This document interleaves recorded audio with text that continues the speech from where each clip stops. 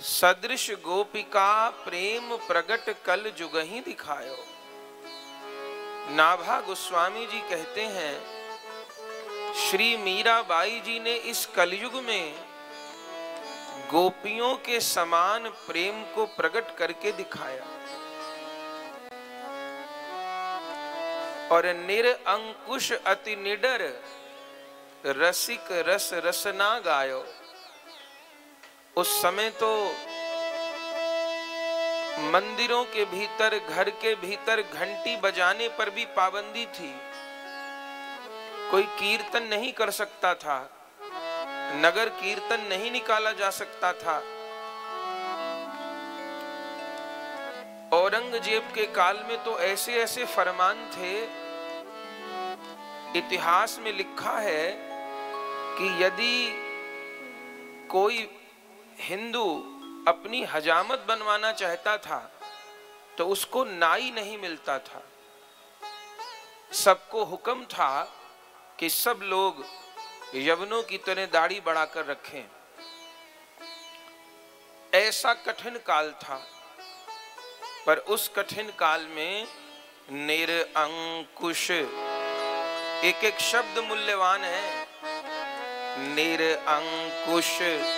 अति निडर, रसिक रस रस नागाय उस कठिन काल में श्री मीराबाई जी ने अत्यंत निडर होकर के अंकुश नहीं माना। न तो ससुराल पक्ष का, जब उन्होंने अत्याचार किया, और ना अन्य किसी का।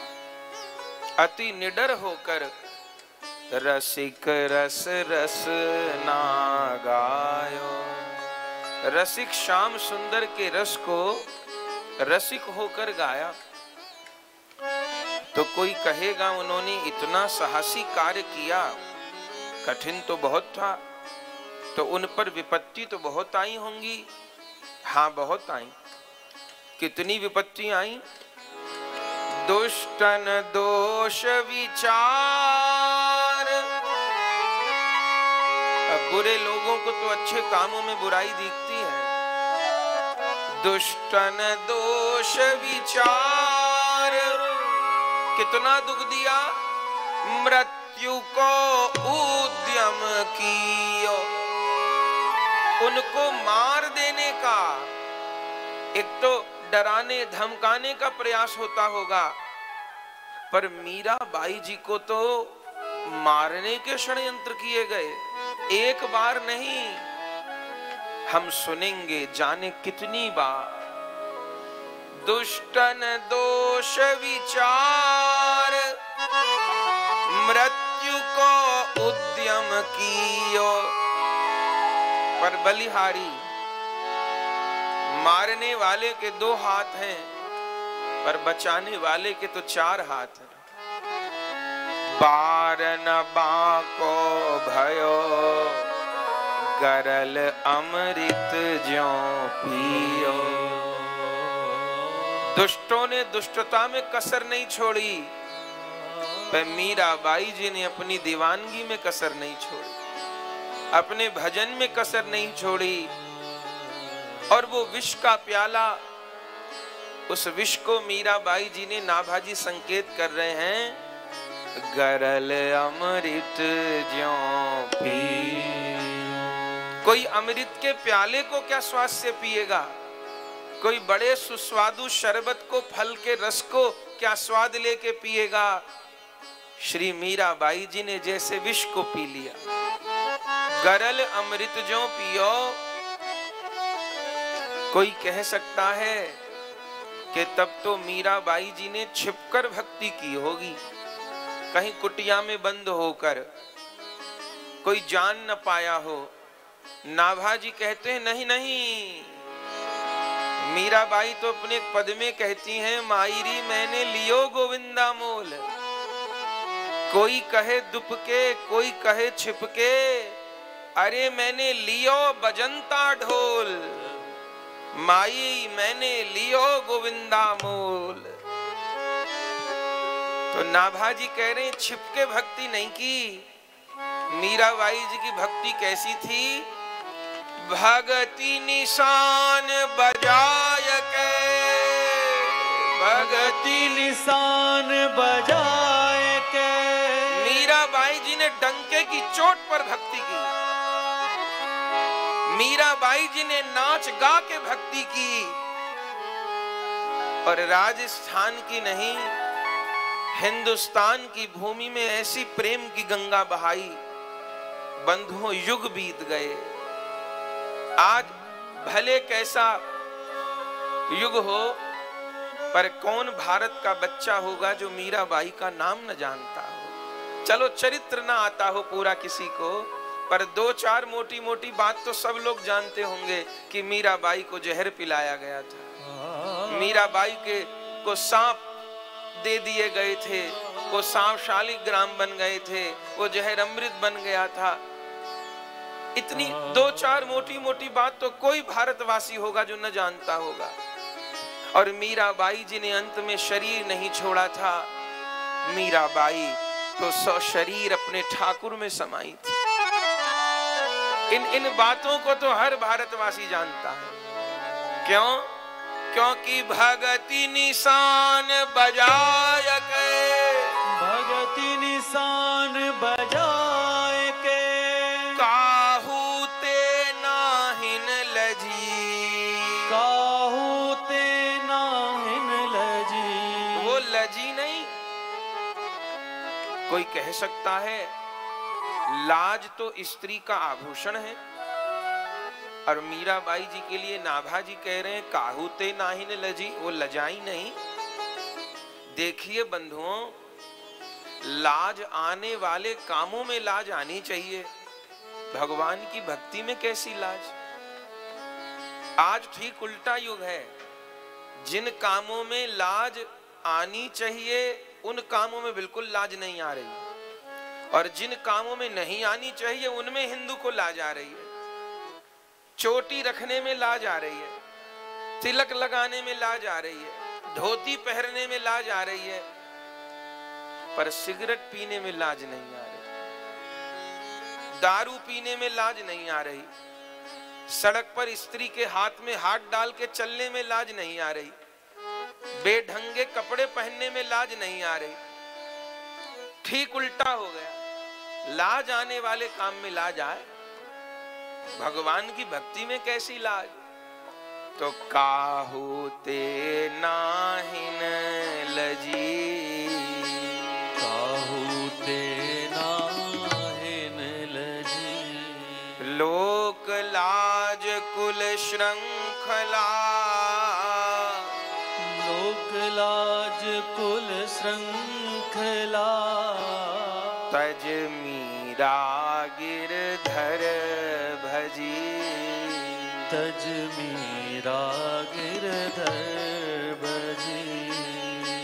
इस छप्पे में जो सबसे मुख्य पंक्ति है, प्रथम पंक्ति है, सदृश गोपिका, प्रेम प्रगट कल जुग ही दिखायो। श्री मीराबाई जी को नाभा जी ने गोपी कहा है, सदृश गोपिका, गोपी के समान। और एक बात कहें जैसे गंगा जी के समान गंगा जी हो सकती हैं। जैसे तुलसी महारानी के समान तुलसी हो सकती हैं।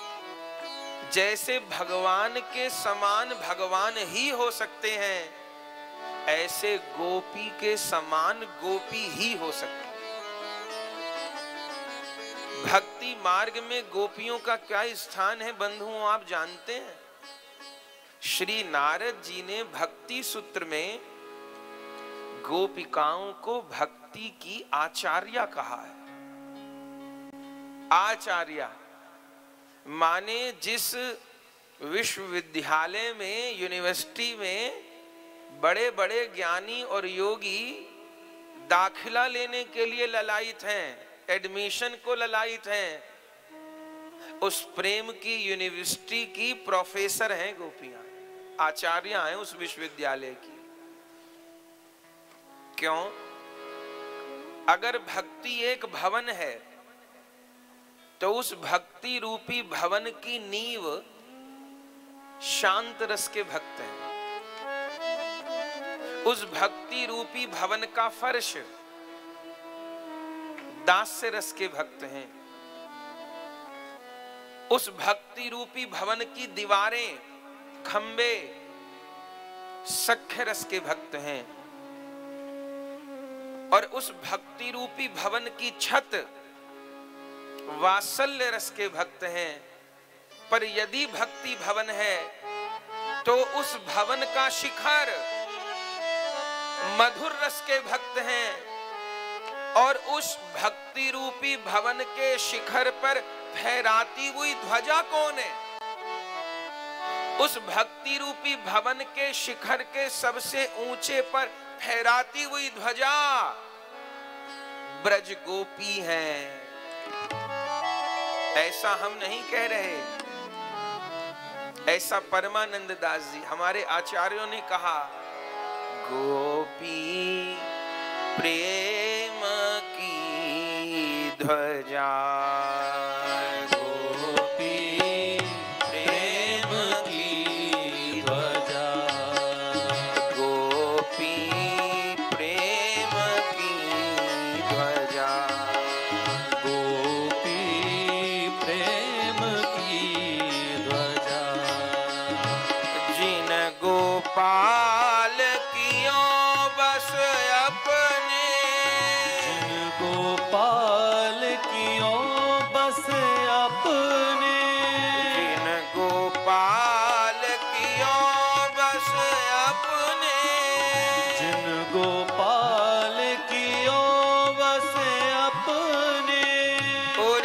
of?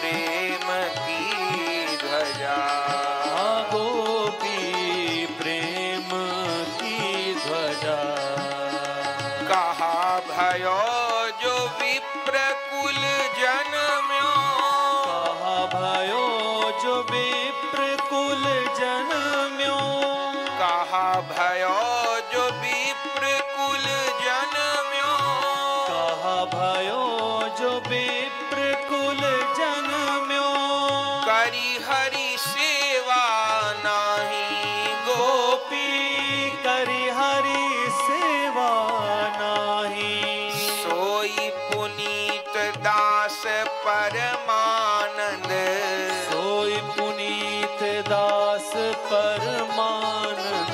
सोई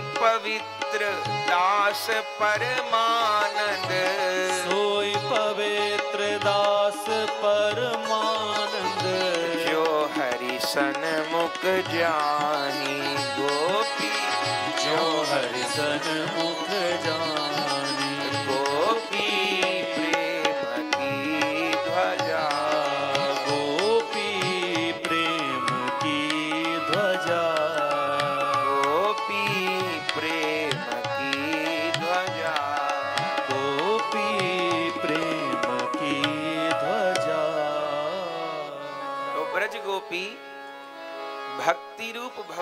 ध्वजा है।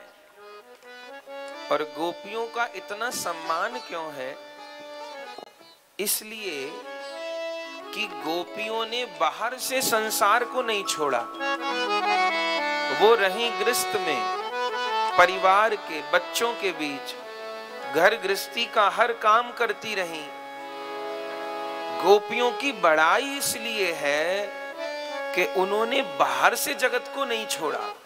वो बाबा जी नहीं बनी। उन्होंने कोई धोनी नहीं रमाई, जटा नहीं बढ़ाई उन्होंने। उन्होंने भीतर से जगत को छोड़ दिया।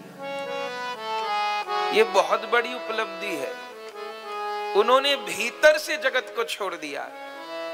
वो तो गोपी गीत में कहती हैं, पति सुतान वय भ्रातु बांधवा, नत बिलंग तिन्त्य चुता गता गति विदस्त बुद्ध गीत मोहिता कितब योषित कस्त जिन्निशी। हे गोविंद, हमने पति, पुत्र, भाई, माता, पिता, संसार, भोग, धन, भोजन, इन सब की आसक्ति को नितांत रूप में त्याग दिया है। हम रहती तो घर में है, व्यवहार भी करती हैं, लेकिन एक क्षण को हमारा मन तुम्हारे चरणों से बिलग नहीं होता। ये बहुत बड़ी बात है। इस बात को समझाने के लिए भगवान को अर्जुन को 700 श्लोक सुनाने पड़ गए।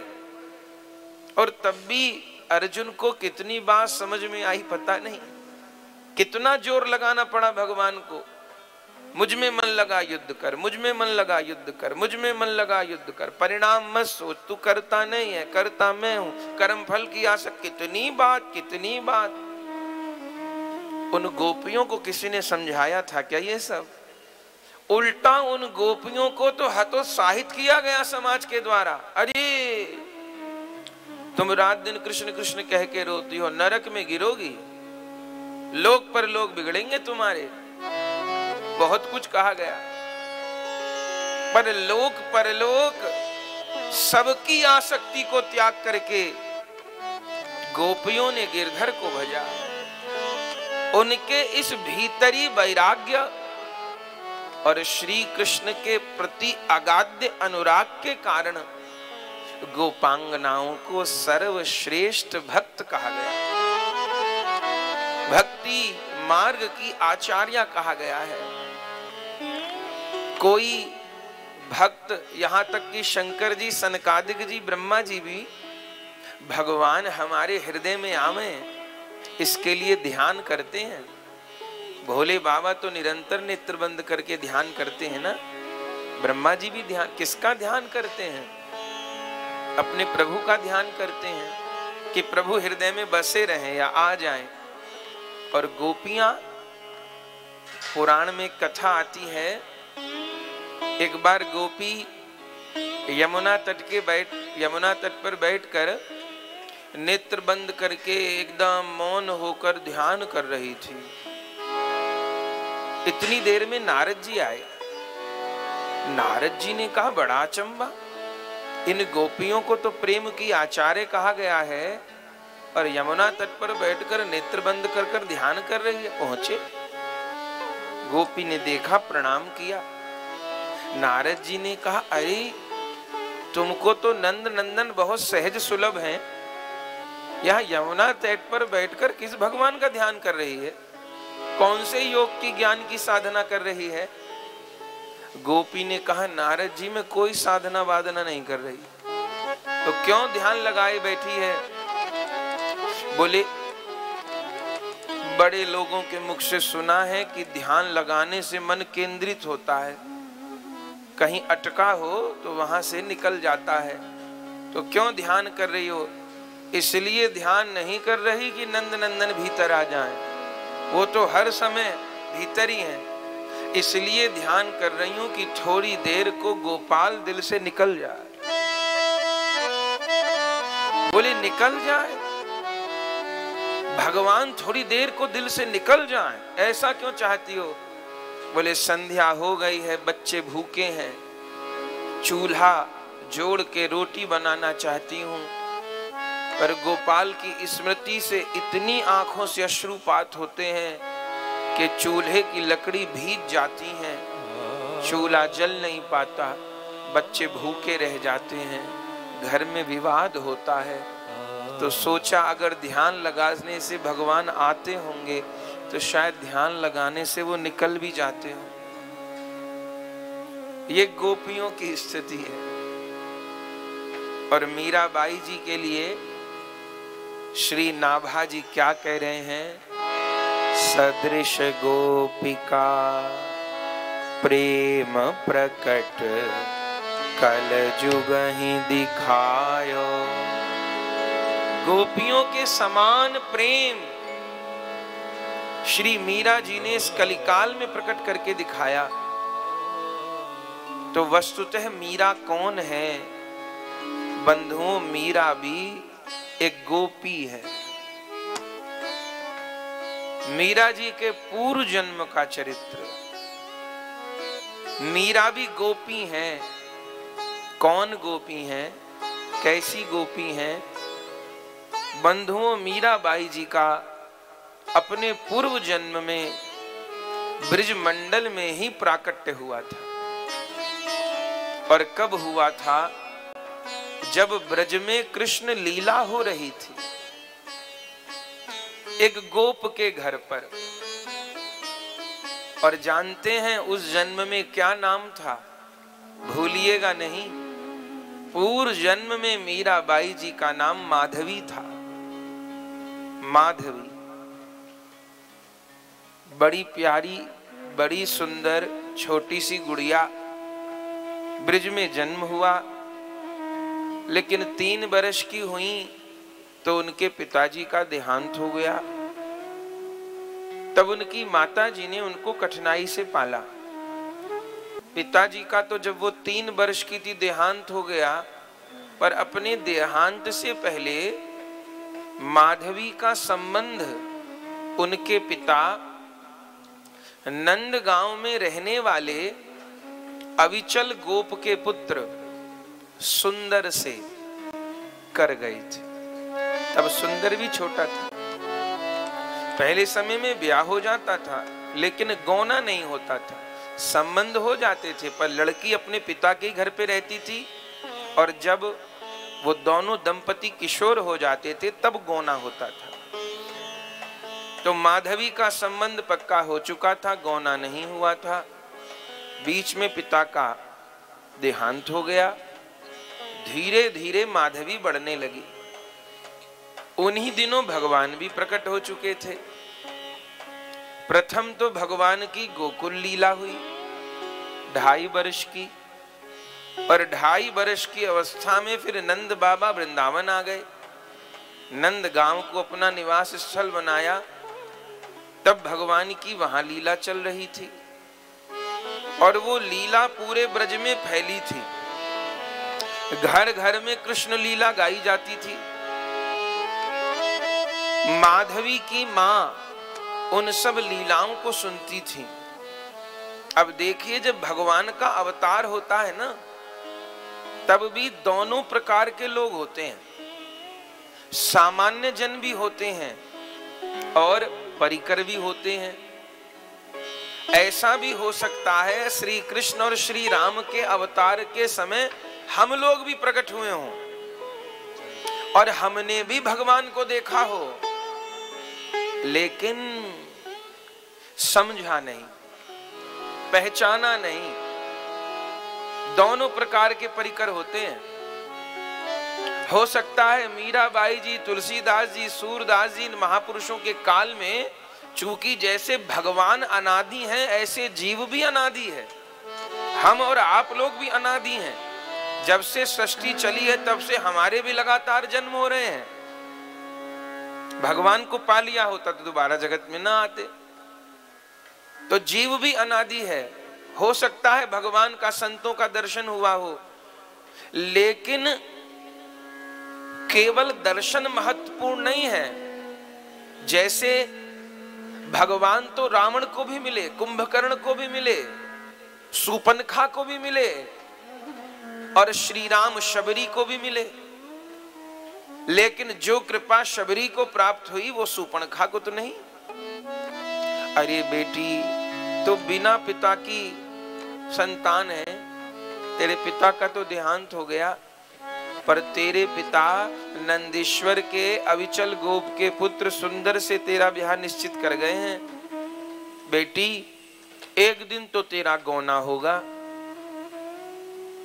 अच्छा माँ और फिर तू अपनी माँ को छोड़ करके नंद गाँव चली जाएगी। अच्छा माँ पर बेटी, बहुत सावधान। किस बात के लिए माँ? अरे ब्रज में एक जादूगर पैदा हो गया है। हमने सुना है, जो ब्रज के मुखिया है नंद। उनकी धर्म पत्नी है यशोदा।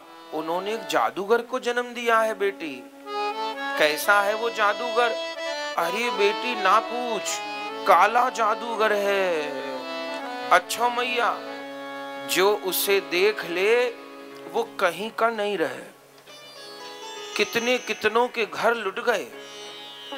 कितनी कितनी बाबरी हो गई, जो उसके चक्कर में पड़ा, कहीं का नहीं रहा। सावधान बेटी, माधवी कहती अच्छा मैया, इतना खतरनाक जादूगर है तो मैं उसको नहीं देखूँगी। अरे केवल न देखने से बात नहीं बनेगी, वो भी कभी तुझको न देख ले। उसकी दृष्टि पड़ गई तो बस समझो गए काम से। अच्छा मैया तो वो मुझे ना देखे, इसके लिए क्या करूँ? तो मैं लंबा घूंघट लगा के रहा करूँगी? ससुराल में तो वैसे घूंघट में रहना होता है। हाँ उंगली का पौर भी न दिखाई दे उसको। अच्छा मैया, एक बात और बेटी, सुना है उस जादूगर के पास एक जादू की बंशी है? वो न देखे, कोई उसको न देखे, अगर कान में बंशी चली गई गए काम से। कुछ नहीं बचता। सुना है मोहिनी है। वो कभी भी कान में वंशी न चली जाए। उस वंशी को सुनने से क्या होता है? अरे बेटी, जाई बंसी सुनी घनश्याम की। सोई रोवत, कहूँ धीर न धारत, रही न काहू काम की। जिसने बंशी सुन ली, किसी काम की ना रही। मैंने तो पड़ोसन से सुना है, एक गोपी जल भरने जा रही थी। बंशी सुनी, सो रास्ते में जल की गगरी लेके खड़ी रह गई। कोई यमुना जी के किनारे बैठी रह गई। अरे, इतनी बंशी बैरन है हमने तो सुना है नंद गाँव में दोहनी चाहिए गाय और ब्रज गोपियाँ बैल के पास जाके दोहने का अभिनय करने लग जाती हैं। पागल कर देती है बंशी। साग में बूरा डाल देती हैं, दूध में नमक डाल देती हैं। बिल्कुल बावरी, न गृहस्थ का काम हो, न संसार का, न व्यवहार का। बहुत सावधान। तो माँ, ये वंशी किस किस समय बजती है?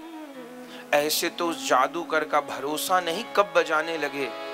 पर मैंने पता किया है, दो समय तो बहुत सावधान रहने की ज़रूरत है। किस समय? एक तो भोर में। सुना है वो जादूगर मंत्र साधना करने के लिए गैयाओं के बहाने जंगल में जाता है। कोई तंत्र मंत्र करता होगा। तो जब जाता है, तब बंसी बजाता है। पड़ोसन कह रही है, गैयाओं को घेरने का तो नाम है। बाकी बंसी बजा के जाने किस किस को बस में कर लेता है। अरे गोपी तो गोपी, बालक वृद्ध, युवा, यहाँ तक कि पशु पक्षी उसके जादू से बच नहीं पाए। सुना है जितनी गो माता है नंद गाँव में बंशी, सुनी और सब अपने थनों से दूध गिरने लगती हैं। अपने बछड़ाओं को छोड़ के उस जादूगर के पीछे भागने लगती हैं। हे भगवान, जिसने गौ माता की ममता बछड़े से छुटवा दी, उसकी बंसी मनुष्य का तो जाने क्या हाल करेगी। पशु पक्षियों पर ममता चलती है उसकी। मैंने सुना है जब वो बंसी बजाते चलता है तो पूरे ब्रज के पंछी उसके पीछे भागते हैं। तोता, मैना, चिड़िया, हंस, हे भगवान, इतना खतरनाक जादूगर, मनुष्य का तो क्या हाल करेगा जिसकी मोहिनी पक्षियों पे भी चले? हाँ बेटी तो ऐसे तो बंशी का ठिकाना नहीं। पर दो समय तो बहुत सावधान। एक तो सुबह जब जाता है जब बहुत दूर की बंशी बजती है। और उससे भी खतरनाक बचती है संध्या समय। जब वो लौटता है और सुना है जितनी गोपी बावरी अटारी पे चढ़ जाए, उसके ऊपर पुष्प वृष्टि करें। स्वागतम कृष्णा, सुस्वागतम कृष्णा।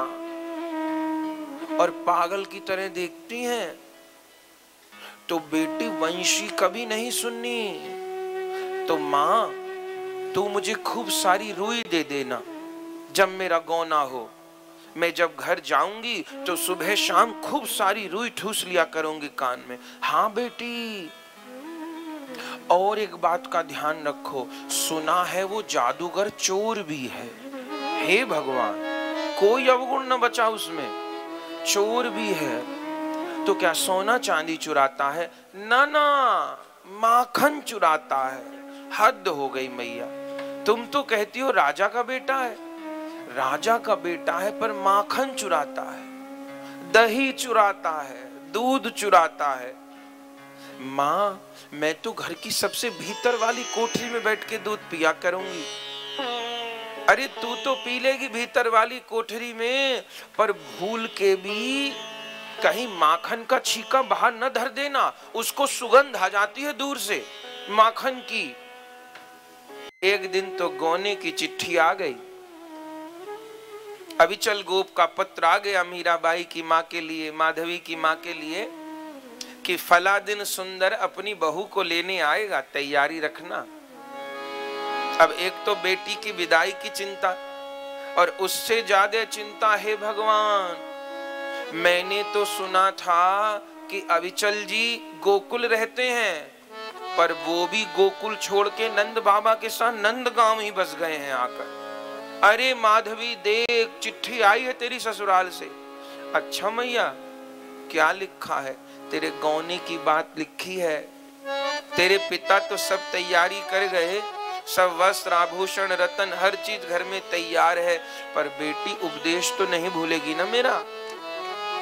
नहीं भूलूँगी। बेटी, अब मैं क्या करूँ? संबंध तो हो चुका। जिससे सबसे ज़्यादा खतरा था तो उसी के गाँव में ब्याह के जा रही है। हे भगवान, अब कैसे होगा? नंद गाँव के तो जल में भी जादू चला हुआ है, कुएँ में भी जादू चला हुआ है। माधवी कहती है, माँ, मैं पूरा ध्यान रखूँगी। कहीं दूर पोखर से जल भर के लाया करूँगी पीने को। ध्यान रखना बेटी धीरे धीरे करके समय बीता और एक दिन तो सुंदर आ गया। सुंदर बहुत सुंदर था। उसका नाम ही सुंदर नहीं था, वो बहुत सुंदर था।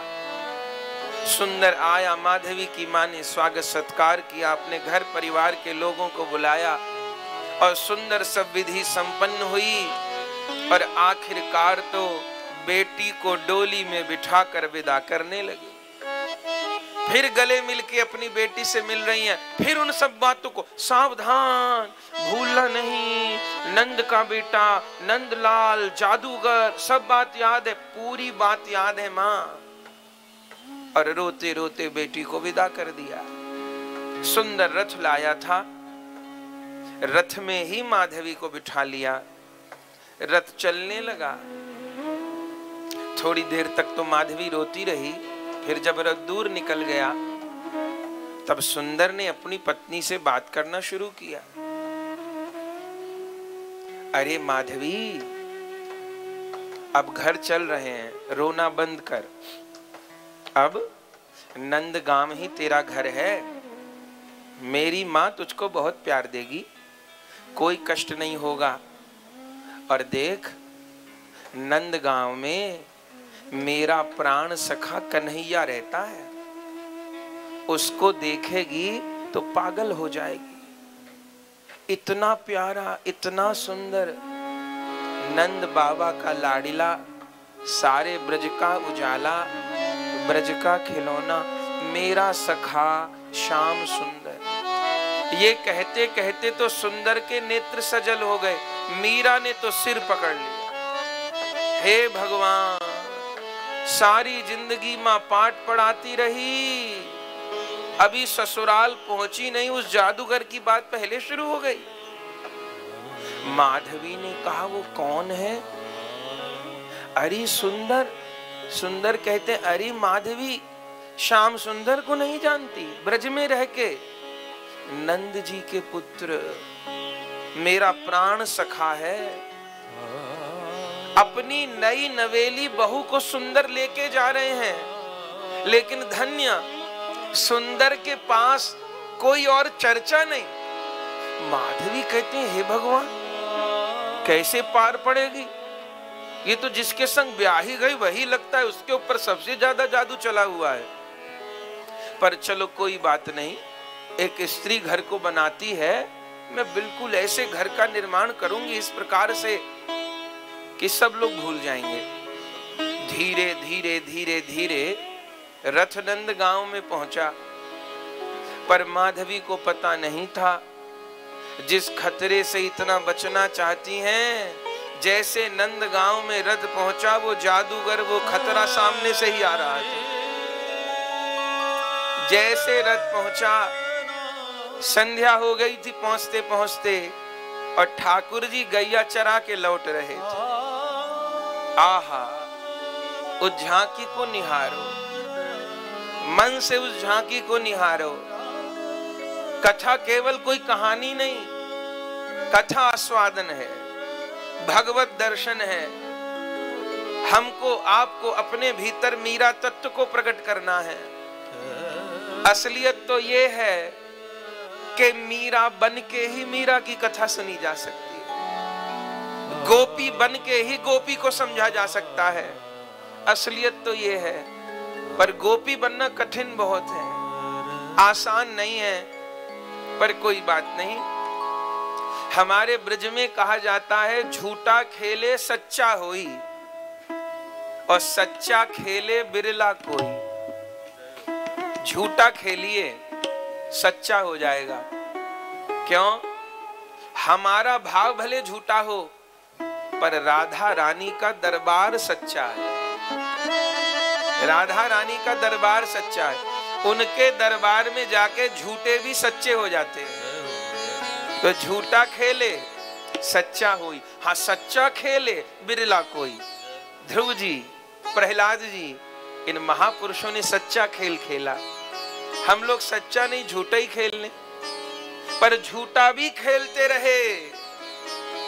तो राधा रानी उसको सच्चा कर दे। मीरा को पता नहीं, माधवी को पता नहीं, जैसे रथ पहुँचा और दूर से, अब माधवी ने तो लंबा घूंघट किया है। तुरंत सुंदर ने रथवान को कहा, रथ रोको रथ रोको रथ रोको। माधवी ने कहा, क्या हुआ? अरे मेरा सखा, बात पूरी होते होते तो सुंदर कूद गया रथ से। और ठाकुर जी सामने से गैया लेके आ रहे हैं। भावना के नेत्रों से झांकी को निहारिए। आगे आगे बछड़ाओं का समूह भाग रहा है। पीछे पीछे अपार गो माता बड़े बड़े सींग, असंख्य गो माता दूर दूर तक गो माता का दर्शन हो रहा है। गो माता के चरणों से धूल उठ रही है। सूर्यास्त का समय है। लालिमा लिए हुए सूर्य ने पूरे आकाश में माने सुंदूर घोल दिया है। आगे असंख्य बछड़ा पीछे पीछे गो माता और बीच में अपार सखाओं के साथ श्याम सुंदर। ओहो, एक हाथ में बंसी लेके, एक हाथ बलदाऊ जी के कांधे पर रखे ओहो, मधुर मधुर मधुर बंसी नाद करते हुए गोविंद वृंदावन में आ रहे हैं। ग्वाल बाल गोविंद का यश गा रहे हैं। ठाकुर जी के शीश पर मयूर का पंख है। गैया के चरणों से उड़ी हुई रज, गोपाल के माथे पर जो स्वेद की पसीने की बूंद है उन मस्तक के ऊपर वो गैया के चरणों की रज चिपक रही है। गोपाल के कानों पर कनेर के पुष्प सुशोभित हैं। माथे पर चंदन की पत्रावली सुशोभित है। कानों में मत्स्य की आकृति के मकराकृत कुंडल हैं। गले में दुलरी है कमर में करधनी है। दोनों हाथों में मोतियों के बाजूबंद कड़ूला है।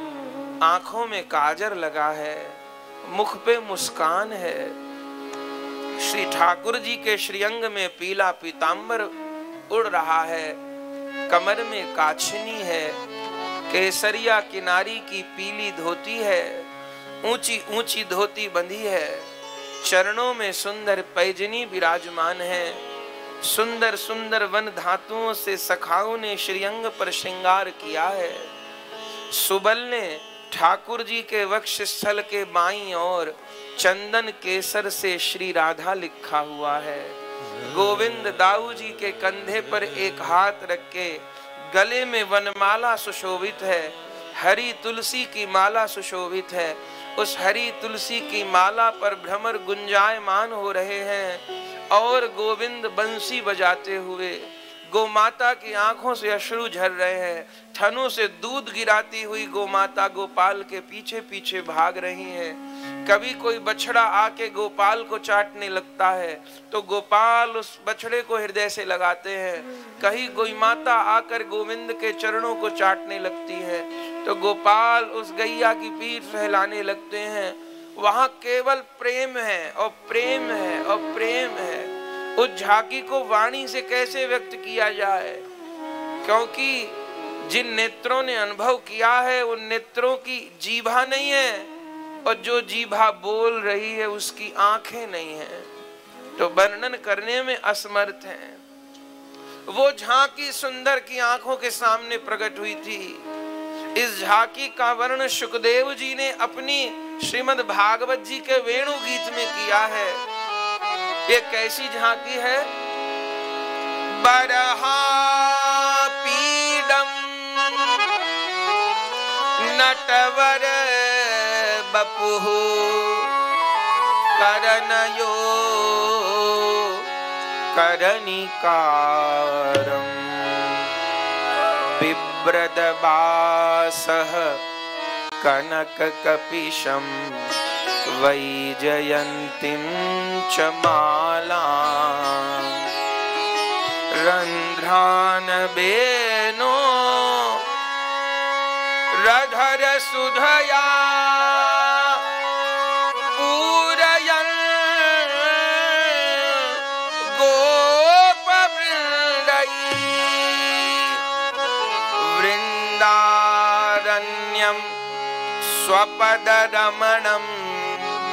प्राविश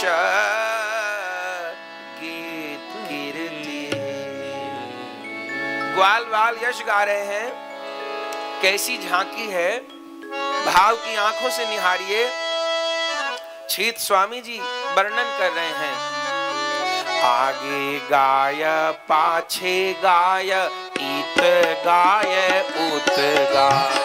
आगे गाय, पाछे गाय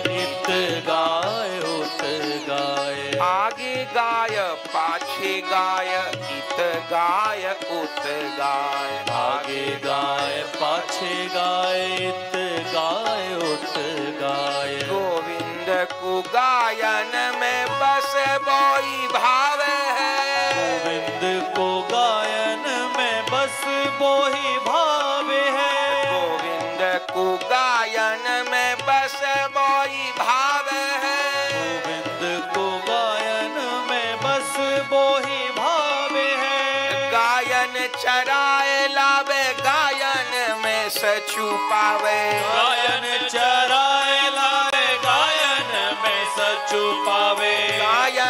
चराए लावे गायन में सुख पावे। गायन चराय लावे गायन में सुख पावे। गायन की खुर रज अंग लपटावे है। गायन की खुर रज अंग लपटावे है। गायन सो ब्रज छायो बैकुंठ बिसरायो। गायन सो ब्रज छायो बैकुंठा हूँ बिसरायो। गायन सो ब्रज छायो बैकुंठ बिसरायो गायन सो ब्रज छायो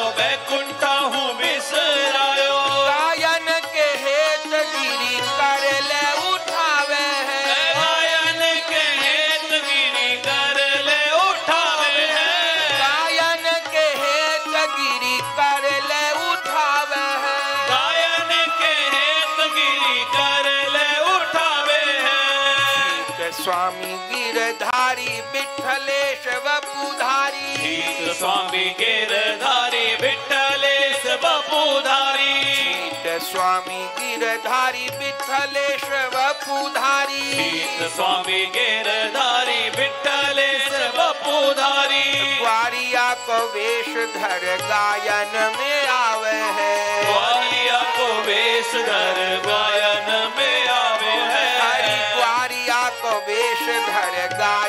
में आवे है। ग्वालिया को वेशधर गायन में आवे है। गोविंद को गायन में बस वही भावे है। गोविंद को गायन में बस वही भावे हरी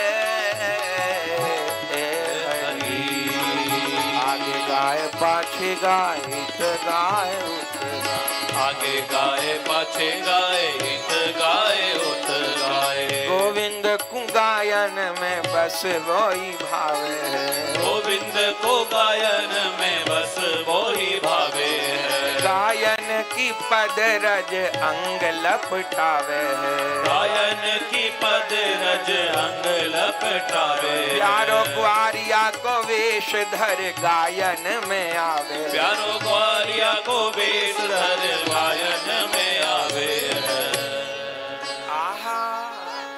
इस झांकी को देखा और तुरंत बस माधवी तो गायों का ही दर्शन कर पाई, गोपाल का नहीं बस तुरंत वो सावधान हो गई। उनको माँ की एक बार तो वो भी मगन होने लगी थी, पर उनको तुरंत अपनी माँ की बात ध्यान आ गई। उन्होंने तुरंत घूंघट और नीचे कर लिया। यहाँ तक कि अपने हाथ पांवों को भी एकदम साड़ी में ढक लिया। सुंदर को तो रोक न पाई, सुंदर तो रथ छोड़ के ऐसा भागा। उन्हें ये ध्यान नहीं रहा कि नवेली दुल्हन को अकेला नहीं छोड़ना चाहिए। वो कूद गए रस से। और कन्हैया, मेरा कन्हैया मेरा कन्हैया मेरा कन्हैया कहते भागे। अब कन्हैया भी, अरे सुंदर सुंदर सुंदर कहते भागे। और कन्हैया और सुंदर गले लगे। कन्हैया ने कहा, क्यों रे सुंदर? कई दिन से गैया चरावे नहीं गयो। मिलो भी नहीं। कहा है? सुंदर ने कही, कन्हैया तो को पतो नहीं। मेरो ब्याह है गयो। अच्छो, ब्याह है गयो। मुँह को नाय बुलाए, लड़ुआ नाय खवाए। सुंदर कहे, कन्हैया, ब्याह तो बहुत दिन को हो गयो। अब तो मैया बाबा ने गौवा गौना के ताई मुँह को भेजो है। अच्छो तो बहु लेवे गयो। हाँ बहू लेवे गयो। तो यासो, नहीं जा पायो गैया चरावे। तो तेरी बहू कहाँ है? अरे वो रही। रथ पे बैठी है। अच्छो तो अपनी बहू नाई दिखाएगो। अरे तो को बात की रोक है। अरे सुंदर, तू तो जाने, ब्रज में कोई भी नई बहू आवे तो सबसे पहले मुँह दिखाई मैं ही करूँ तो भाभी को मुख ना ही दिखावे गो। अरे जा, और तब तो कन्हैया, भाभी भाभी भाभी कहते भाभी। और जो ठाकुर जी का कंठ स्वर, भाभी भाभी भाभी, माधवी तो काँप गई, हे भगवान। माँ ने इतना पाठ पढ़ाया, मुझे नहीं पता था ससुराल में पैर रखते पहले ही सामना हो जाएगा। अब कहाँ भागू? रास्ता भी नहीं पता मुझे यहाँ का। कहीं भाग जाती, अब बैठी रही। ठाकुर जी रथ पे चढ़ गए। माधवी से कह रहे भाभी, मोकू मुख दिखा, अपनो मोड़ा दिखा। माधवी चुप, मूर्ति जैसी बनी है। अरे सुंदर कहा बहरी बहु लायो है। सुने नहीं कहा। सुंदर कहे, नहीं नहीं, बहरी नहीं है। तो गूँगी तो ज़रूर होएगी। ना ना, गूँगी हूँ नहीं है। बड़ो मीठो बोले, सुंदर आ गयो। ये तो न सुने न बोले। सुंदर ने कही, अरे माधवी, ये तेरो देवर है, कन्हैया। नहीं मानेगो, मुख दिखाई दे। फिर ठाकुर जी ने कही, अरे भाभी, मोकू मोड़ो तो दिखाई दे। पर माधवी तो और सावधान, ये खेचा तान भी कर सकते हैं। ठाकुर जी बार बार कहें, भाभी, मोहड़ो दिखाई दे। नहीं सुना। सुंदर ने कहा, अरे बावरी, इनसे कोई संकोच नहीं करता। ठाकुर जी कहें, अरे भाभी, मैं तेरो जेठ नाय लगूं। मैं तेरो ससुर नाय लगूं। तेरे ते बहुत छोटा हूँ। दर्शन कराए दे। दर्शन कराए दे। अरे, सुंदर कह तो को नहीं? सुंदर ने भी बहुत कहा, माधवी, मत संकोच करो। इनका मुख देखने को तो सब तरसते हैं। और ये इतना कह रहे हैं, यहाँ कोई बड़ा बूढ़ा नहीं है। थोड़ा घूंघट ऊपर कर दो। कन्हैया के लिए तो प्राण भी हाजिर हैं। तुम्हें देखने को हट कर रहे हैं। कोई माखन की मटकी थोड़ो है जो लेके भागेंगे। मुख देखना चाहते हैं। पर सुंदर ने भी बहुत कहा, भगवान ने भी बहुत कहा, माधवी नहीं मानी नहीं मानी नहीं मानी। मुख नहीं दिखा। अंत में भगवान रथ से ये कहते हुए उतर गए अच्छा मुख नहीं दिखाया, अब तू हमारा मुख देखने को तरसेगी।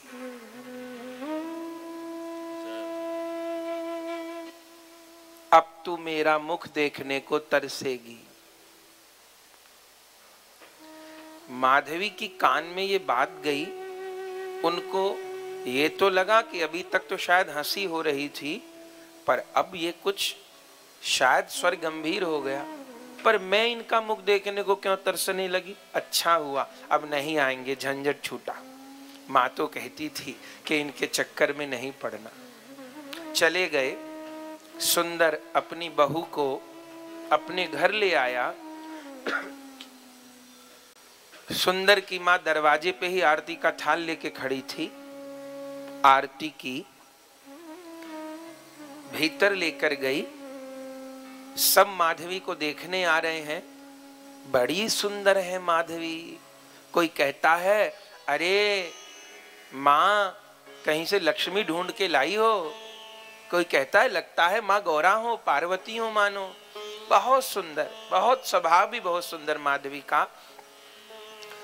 लेकिन माधवी को फिर अचंबा हुआ कि जो भी मेरा मुख देखने आता है, किसी के मुख पर कन्हैया को छोड़ के दूसरी बात नहीं। एक बार तो मुझे देखते हैं, मुँह दिखाई देते हैं, फिर उनकी वही कृष्ण कथा शुरू हो जाती है। लगता है जादूगर बहुत जोरदार है। दो दिन बीते, चार दिन बीते। एक दिन माधवी की सास ने कहा, माधवी, तैयार हो जाओ। क्या बात है माँ? नंद भवन चल रहा है। नंद भवन? वहाँ क्या होगा? अरे, जब भी कोई बहू नहीं आती है तो यशोदा जी के चरण छुआने के लिए लेके जाते हैं। तो नंद जी और यशोदा जी के चरण स्पर्श के लिए चलो। अब माधवी सोचे, मना कैसे करूँ सास को कि मुझे वहाँ नहीं जाना? जल्दी करो। एक बार पूछा, जाना ज़रूरी है? हाँ वो राजा हैं, वो नहीं आएँगे।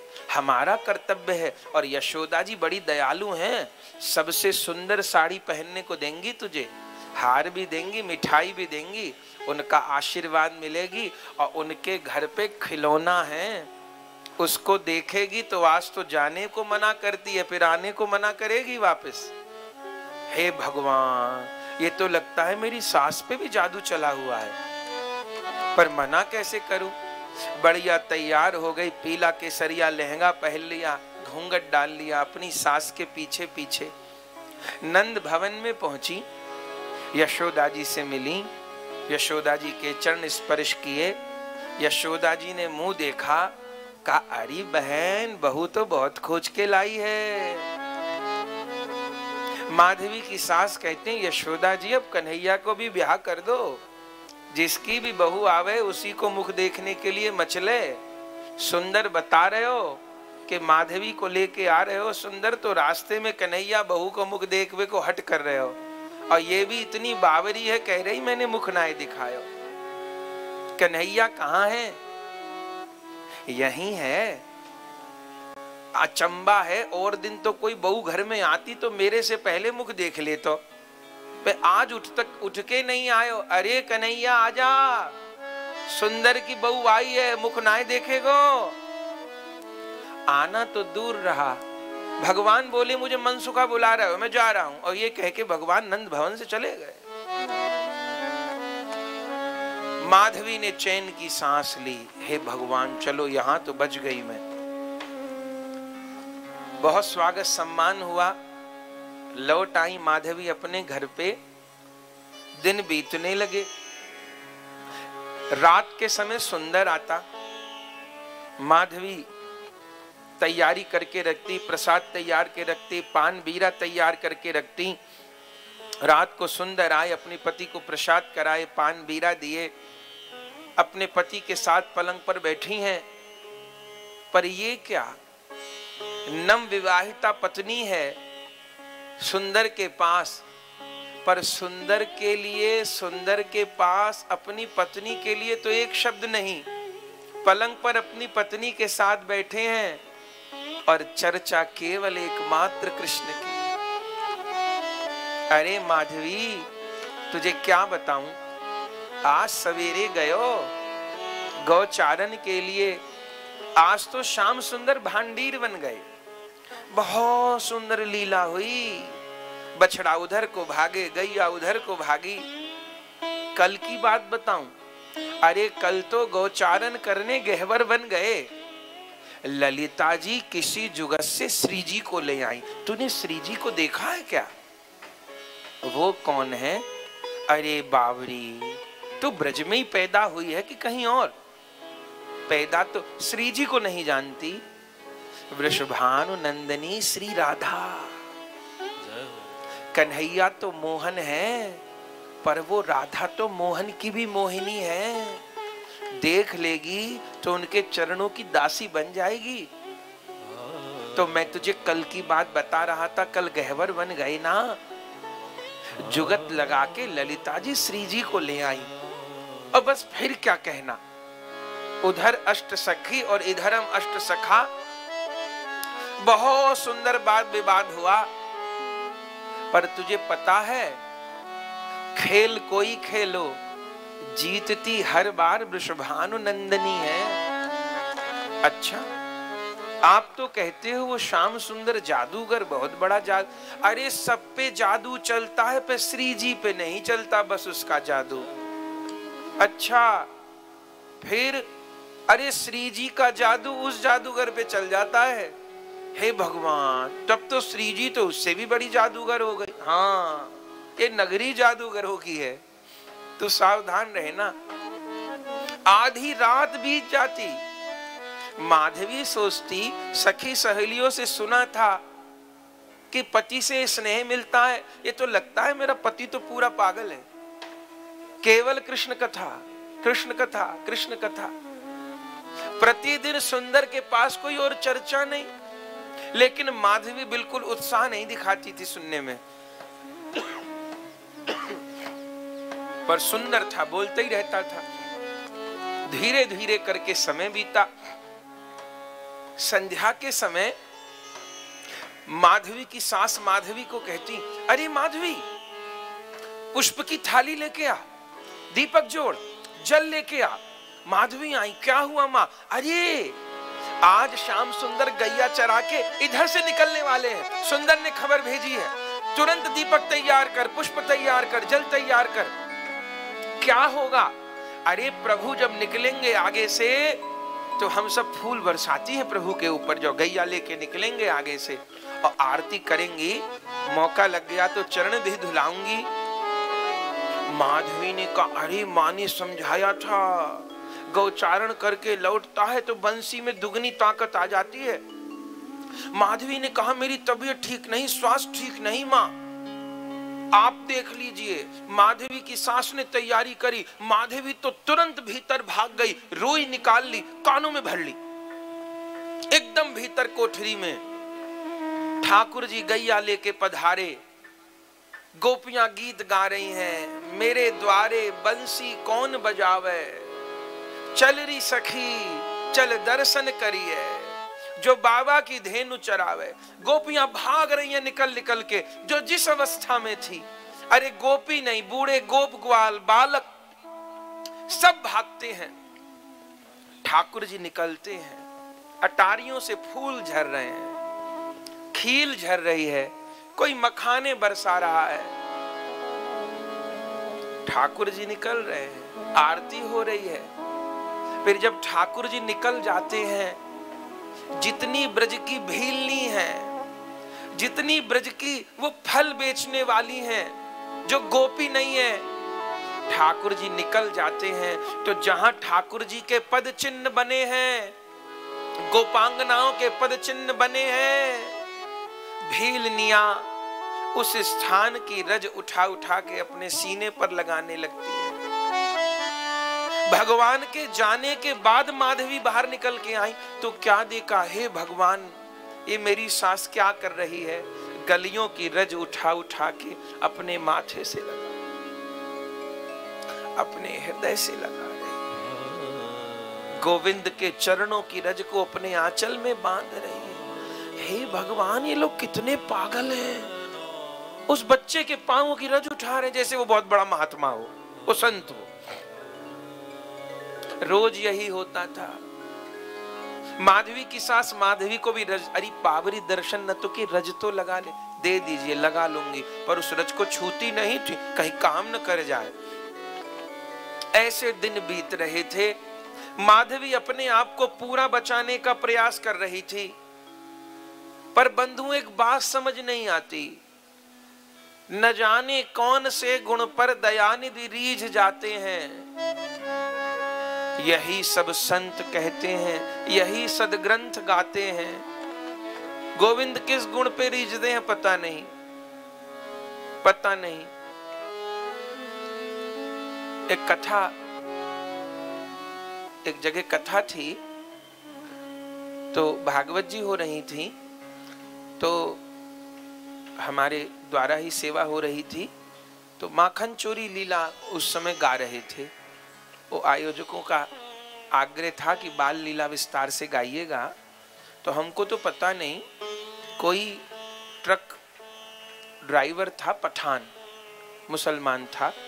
ट्रक ड्राइवर था तो आसपास कहीं आया होगा तो कहीं ठहरा था, ऐसे बगीचे में कथा हो रही थी तो उसने सोच कर कि बाहर धूप है, चलो चलो, ये कुछ आयोजन हो रहा है हिंदू लोगों का।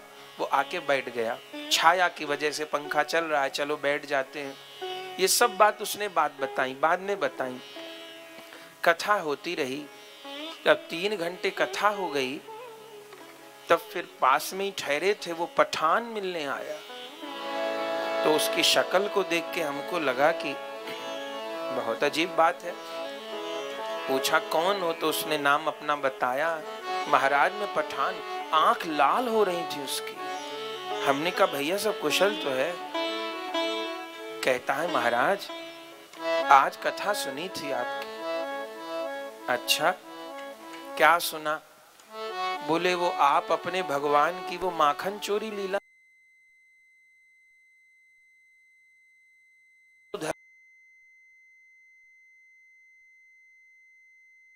ये नहीं पता कि वो भगवान है कि भगवान नहीं है, मुझे ये नहीं पता। हम लोग खुदा की इबादत करने वाले हैं, पर उस लीला को सुनकर मेरा चित्त इतना द्रवीभूत हुआ कि मैं ज़िंदगी में कभी नहीं रोया, मेरी आँखों से आँसू गिरने लगे कथा को सुनते इतना बेचैन हो गया। मेरा ट्रक पास में खड़ा था, मैं छाया की वजह से पीछे आके बैठ गया और सुन के विभोर हो गया। तो ये कौन है जिसकी आप कथा कह रहे थे? तो ज़्यादा तो नहीं बताया जा सकता था। हमने कहा, भैया, ये भागवत कथा है और जिसकी कथा आपने सुनी वो कोई इंसान की चर्चा नहीं, हम लोग के भगवान की चर्चा है तो बोले, ये सब क्यों हुआ? हमने कहा, बच के रहना भाई, जादूगर है ठाकुर, बच के रहना। न जाने कौन से गुण पर दयानिधि रीत जाते उसके दिल पर कथा काम कर गई। धीरे धीरे करके समय बीता, माधवी अपने आप को सुरक्षित रखे थी। एक दिन एक नई खबर सुनाई पड़ी। माधवी की सास ने कहा, माधवी, वो जितनी मैंने सामग्री बना बना के रखी थी हाँ आपने लड्डू, बर्फ़ी, पेड़ा, मठरी माट सब कुछ बनवा बनवा के रखा है। आप कहती थी, इंद्र की पूजा के समय काम आएगी। अरे माधवी, अब किसी इंद्र पिंद्र की पूजा नहीं होनी। फिर अब नंद के लाला ने कहा है कि गिरिराज पूजे जाएँगे। माधवी ने कहा, हद हो गई। आप तो कहती थी, हज़ारों बरस से इंद्र की पूजा होती है दिवाली को। हाँ पर अब नंद लाला ने कहा है, किसी इंद्र को नहीं पूजा जाएगा। अब गिरिराज जी पूजेंगे। अच्छा तो चल। आज तो दिवाली का दिन है, माँ घर में तैयारी है, सेवा है। अरे, हो गई दिवाली। गोविंद ही हमारी दिवाली है, गोविंद ही होली है। वो जहाँ है, वही वैकुंठ है, वही सब कुछ है। अब नंद बाबा की आज्ञा है, सब लोग अपने घर से मिष्ठान ले लेके वहीं गिरिराज जी में दीपावली पूजन होगा और वहीं गिरिराज की पूजा होगी। ले चल सब सामान। आसपास की दासियों को बुला लिया। सब अपने सिर पर गिरिराज जी के भोग की सामग्री लेके चल पड़े। गीत गाते हुए आगे आगे ठाकुर जी सबको लेके जा रहे हैं और पीछे पीछे सब ब्रजवासी चल रहे हैं। कीर्तन करते, गाते गाते सब लोग गिरिराज जी पहुँचे। दीपावली की रात को माधवी मन में लगातार सोच रही है, ये सारी ब्रजवासी लगता है पागल है। एक बालक के कहने पर घर बार छोड़ के यहाँ गिरिराज जी जंगल में आ गए। फिर हुक्म आया। माधवी की सास ने कहा, बहू, अब ये जितनी सामग्री लाए हैं ना, वहाँ पर पारस का स्थान बना है सामग्री रखने का। वहाँ सेवक रहेंगे, अपनी भी सब सामग्री वहाँ रखे आओ। तो माँ गिरिराज जी को भोग नहीं लगेगा। लगेगा भोग, कल लगेगा। अब नंद लाला की आज्ञा है कि रात में गिरिराज जी की परिक्रमा होगी। हे भगवान, अब परिक्रमा होगी। हाँ तब माधवी की सास माधवी को लेकर के गिरिराज परिक्रमा को चल पड़ी। अब सारी रात गिरिराज जी की परिक्रमा हो रही है। एक और गिरिराज जी, दूसरी और लता पता का माधवी दर्शन कर रही हैं, विभोर हो रही हैं। सारी रात परिक्रमा हो रही है। गिरिराज जी की प्रथम परिक्रमा किसने लगाई है? प्रथम परिक्रमा। गिरिराज जी की प्रथम परिक्रमा स्वयं श्री कृष्ण और श्री राधा रानी ने लगाई। प्रथम परिक्रमा। गिरिराज जी को प्रथम पूजा किसने है? स्वयं हमारे राधा माधव ने पूजा है। प्रथम बार। परिक्रमा लगी। परिक्रमा पूरी हुई। फिर सवेरे सब लोगों ने मानसी गंगा में स्नान किया और फिर श्री गिरिराज जी को भोग अर्पण होने लगे। लेकिन माधवी किसी काम में आगे नहीं आई। वो तो अपनी सास के पीछे घूंघट लगाए खड़ी रहती थी। उन्होंने गिरिराज जी को भी अच्छे से नहीं देखा। उनके दिमाग में अपनी माँ की ही बातें गूंजती थी बस। सावधान, पता नहीं कहाँ से वो जादूगर आ जाए, कहाँ से बंसी सुन जाए। बहुत सावधान। गिरिराज जी को स्नान कराए गए, गिरिराज जी को तिलक किए गए, बीरा अर्पण हुए। फिर गिरिराज जी को भोग पधराए गए। कितने भोग? जैसे हैं गिरिराज जी, तैसे ही अन्न को कोट मगन भय पूजा करें, नर नारी बड़ छो जितने बड़े गिरिराज जी, उतने ही भोग। भयो भात को कोट ओट गिरिराज छिपानो।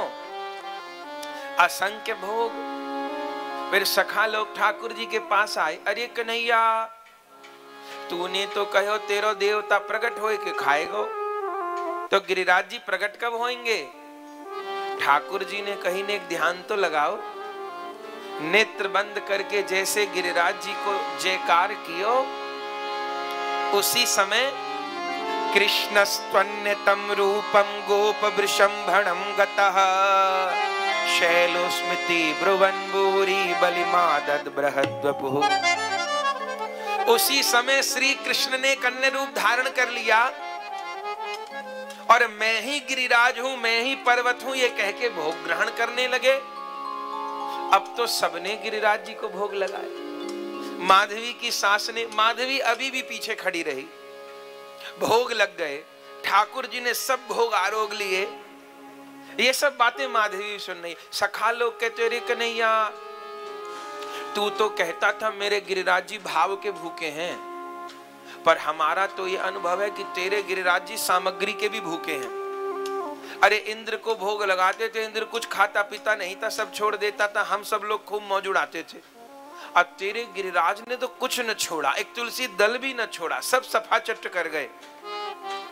श्री कृष्ण ने कहा सावधान मेरे ठाकुर को ऐसा न कहो मेरे गिरिराज भाव के भूखे एक बार फिर जयकार करो।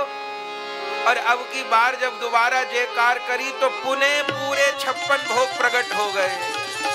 श्री गिरिराज महाराज की जय हो। उन्हें सब भोग प्रकट हो गए। अब तो सब राज़ी हो गए। फिर गिरिराज जी ने आशीर्वाद दिया नंद बाबा को, अब सबको प्रसाद पवाओ गो माता को, कुकर को, पतंग को, सबको प्रसाद पाओ सब लोग पाओ। तब उस दिन गोवर्धन वाले दिन तो वहीं प्रसाद हुआ, सबने प्रसाद पाया। फिर रात तक माधवी फिर लौट आई, अपनी सास के साथ अपने घर पे। उसने कोई गिरिराज जी अच्छे से नहीं देखे, भगवान श्री जी किसी को नहीं देखा। बस ये हुआ कि कहीं घूमने गए थे। परिक्रमा हो गई, भोग हो गई प्रसाद पा लिया। रात को सब लोग सो गए, क्योंकि थक गए थे, इतनी बड़ी परिक्रमा की थी। इधर अभी सवेरा हुआ नहीं, कि माधवी ने क्या देखा, बहुत ज़ोर तूफ़ान आ रहा है, आंधी आ रही है, घर की छत में दरार आ गई है, जितना बाहर सामान था, सब हवा में, तूफ़ान में उड़ गया है, बड़ी तेज बारिश हो रही है, तूफ़ान इतनी तेज हवा चलने लगता है, घर उड़ जाएगा, छत उड़ जाएगी घर की। और उसी समय माधवी की सांस दौड़ी दौड़ी आई, अरे माधवी, चलो चलो चलो, क्या हुआ? पूछा, अपने पति के लिए वे कहा हैं? अरे उनको तो नंद बाबा ने बुला लिया है, चलो, हुआ क्या? इंद्र कुपित हो गया, वृष्टि कर दी, वज्रापात हो रहा है। कहा जाएँगे घर छोड़ के? माधवी की सास ने कहा, सावधान नंद लाला की आज्ञा है। सब लोग गिरिराज जी चले, वहीं पर प्राणों की रक्षा होगी। माधवी की सास, माधवी का हाथ पकड़कर गिरिराज जी के लिए भाग रही थी। माधवी ने देखा, हाथी के सूंड के बराबर बारिश हो रही है। आकाश से पत्थर गिर रहे हैं। कच्चे घर गिर गए, छप्पर उड़ गए, गैया चीख रही हैं, बछड़ा लोग पर सब लोग गिरिराज जी की तरफ़ भाग रहे हैं। एक ही बात सुनाई दे रही है, सब गिरिराज जी चलो, गिरिराज जी चलो इंद्र कुपित हो गया, प्राण बचाने हैं, सब गिरिराज जी चलो, गिरिराज जी चलो। सब लोग भाग रहे हैं। माधवी भी अपनी सास का हाथ पकड़कर भाग रही थी, लेकिन इतना वज्रापात, इतनी आंधी, इतना तूफ़ान प्राण बचाने उस समय भारी थे। माधवी का हाथ कब अपनी सास के हाथ से छूट गया, पता न पड़ा। भागते भागते बस मीरा उस भीड़ के पीछे उस संकेत से भाग रही थी। ये नहीं पता था कहाँ जाना है, पर भागते भागते भागते भागते भागते भागते अचानक माधवी को लगा कि अब बारिश की बूंदे जो पड़ रही थी सिर पे, जो घाव किए दे रही थी सिर में, वो चोट अब लगनी बंद हो गई है और अब भीड़ का भागना भी बंद हो गया है और अब भीड़ ठहर गई है तो अभी तक तो होश नहीं था क्योंकि सबके हाथ पाँव फूले थे। अब मीरा को, माधवी को लगा कि अब हम कहीं लगता है सुरक्षित जगह आ गए हैं। माधवी चारों ओर देखने लगी, जब सांस में सांस आया अरे, हम कहा हैं? लगता है कि किसी पर्वत की गुफा में आ गए हैं। पर इतनी बड़ी गुफा, उसमें इतने लोग आ गए। देख रही थी, हम कहा हैं? अब न सुंदर है, न सास है। तब किसी पास वाली गोपी से पूछा, अरे, हम कहा हैं? अरे, गिरिराज जी के नीचे हैं। हे भगवान, गिरिराज जी के नीचे, जिन्हें कल पूजा था। हाँ जिन्हें कल पूजा था, वो तो पहाड़ थे, पहाड़ की पूजा हुई थी, उनके नीचे कैसे आ गए? अरे बाबरी, श्याम सुंदर ने गिरिराज उठा लिए हैं। माधवी ने कहा, हे भगवान, इन लोगों को इतनी विपत्ति में भी ऐसी बातें नहीं छूट रही इनकी। इतनी विपत्ति प्राणों का संकट, फिर उसकी बात। अरे, वो जरा सा छोरा इतना बड़ा गिरिराज उठा लेगा, लगता है आधे पागल नहीं है, पूरे ब्रजवासी पूरे पागल हो चुके हैं। छोटा बच्चा इतना बड़ा गिरिराज उठा लेगा। ये कह के वो दूसरी गोपी तो मौन हो गई। पर माधवी अभी तक सोचती रही कि गिरिराज, ये तो लग रहा है कि किसी पर्वत के नीचे हैं। पर अगर किसी पर्वत के नीचे हैं तो ज़रूर कोई आधार तो होगा ना नीचे? लगता है नंद बाबा ने अपने सशस्त्र सैनिकों के द्वारा जल्दी जल्दी स्तंभ खड़े करा लिए होंगे पत्थर के। उसी पे ये गिरिराज रुके होंगे। तो माधवी एक ऊँची शिला पे चढ़ गई और शिला पे चढ़ के चारों ओर देखने लगी। जहाँ तक निगाह गई दूर दूर पर उनको कोई खंबा न दिखा, कोई स्तंभ न दिखा। अचंबा इतना बड़ा पर्वत किस आधार पे टिका है? वो किसी और ऊँची शिला पे चढ़ी, ढूंढ रही थी आधार क्या है, स्तंभ क्या है, सहारा क्या है। तब निगाह घूमते घूमते घूमते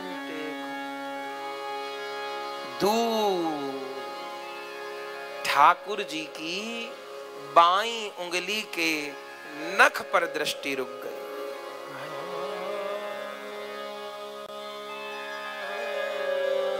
ठाकुर जी ने कौन से हाथ पर गिरिराज उठाए?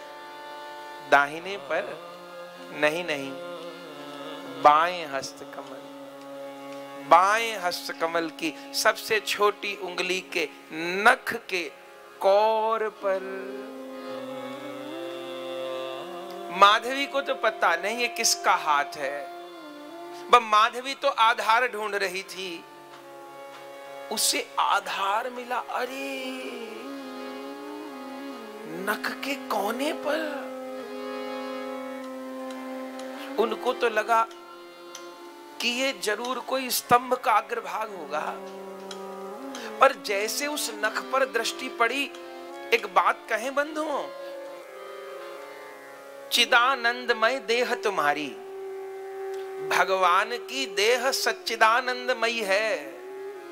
सच्चिदानंदमयी। श्री कृष्ण की उंगली भी श्री कृष्ण है।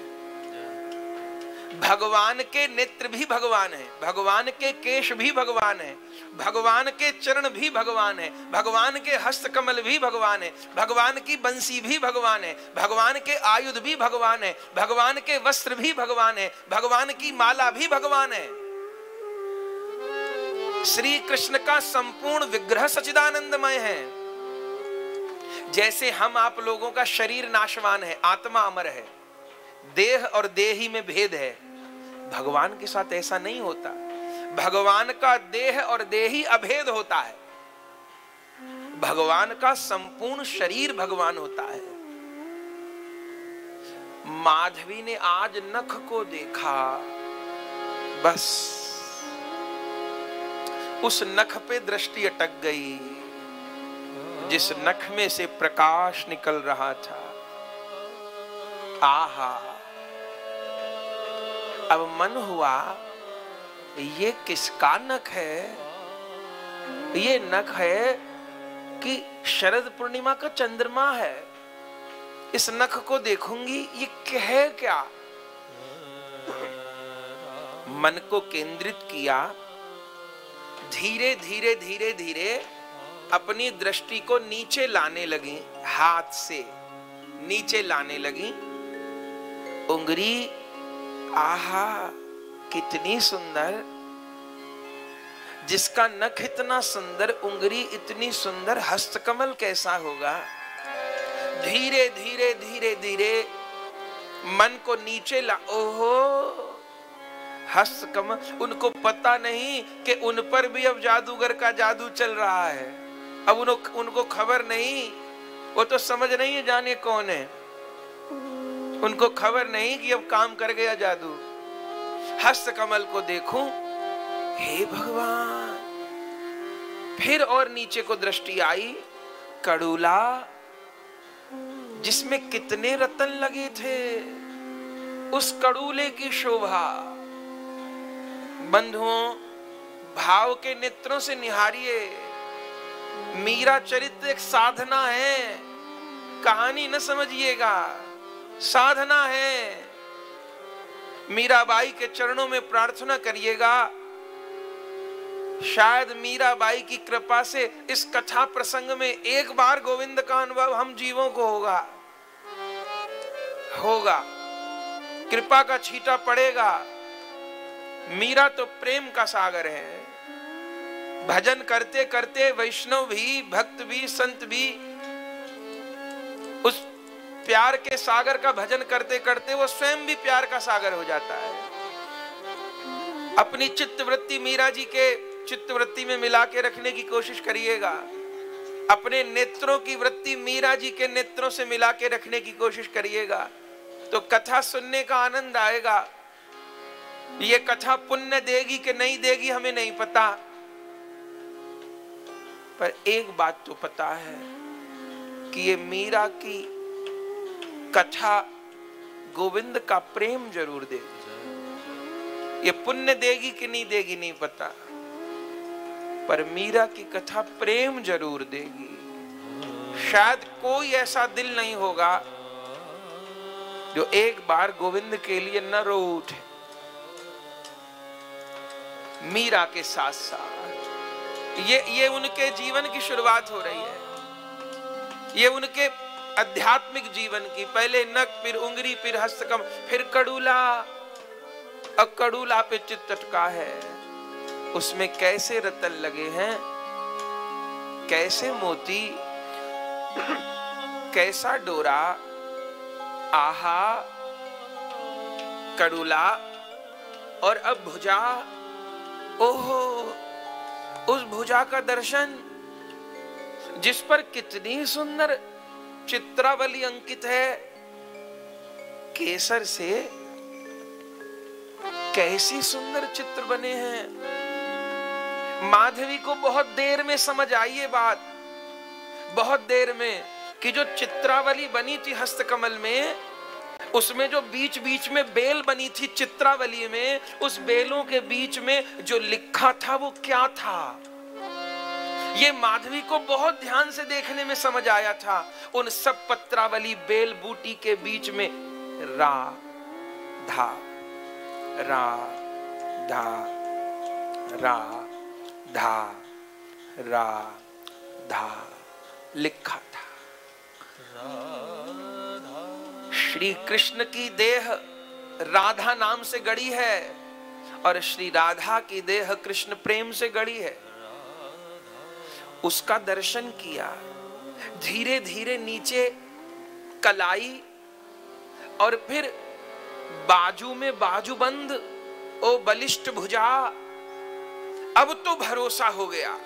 उस भुजा को देख के, नख को देख के भरोसा नहीं हुआ था। उस बलिष्ठ भुजा को देख के भरोसा हुआ। इसी भुजा पे गिरिराज ठहरे होंगे।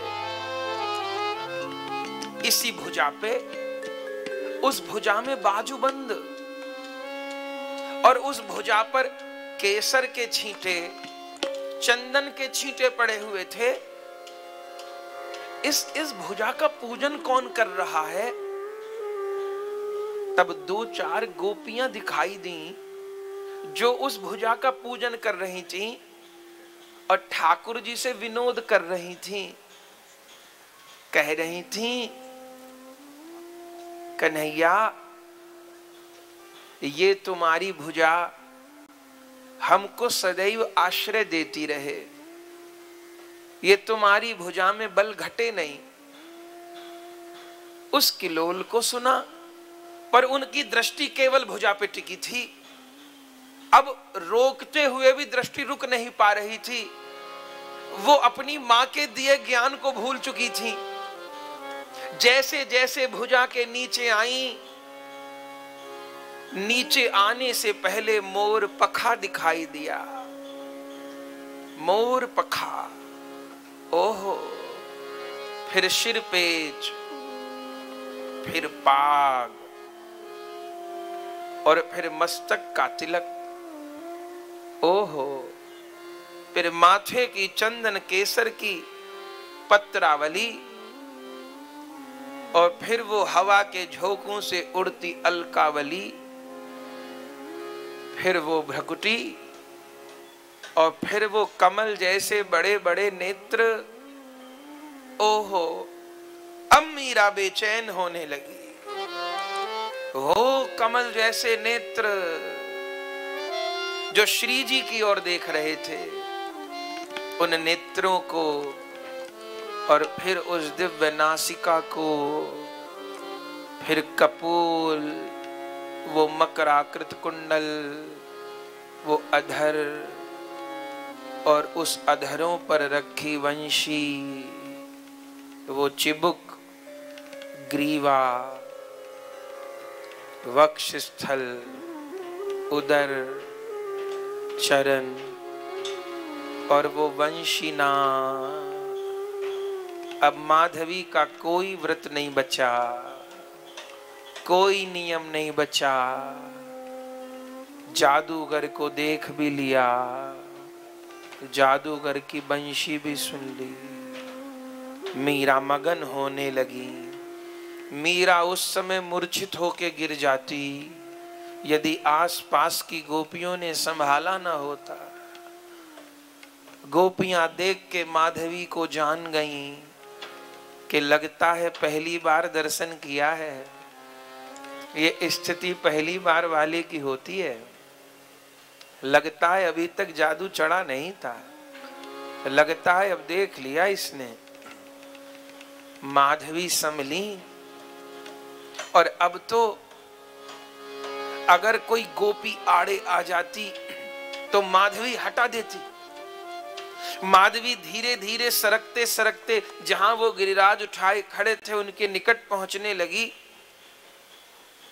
और तब उस झांकी को निहारने लगी। एक निकट की गोपी से पूछा, ये कौन है? ये क्या कामदेव हैं? या ब्रजवासियों की रक्षा करने नारायण आ गए हैं? ये कौन है? गोपियों ने कहा बाबरी इन्हें नहीं पहचानती? नहीं, कौन है ये? अरे नंद बाबा के लाल, नंद नंदन श्याम। क्या कहा? ए श्याम सुंदर है, वो जो गैयाओं के पीछे भागते हैं। यशोदा जी के बेटे यही है क्या? हाँ।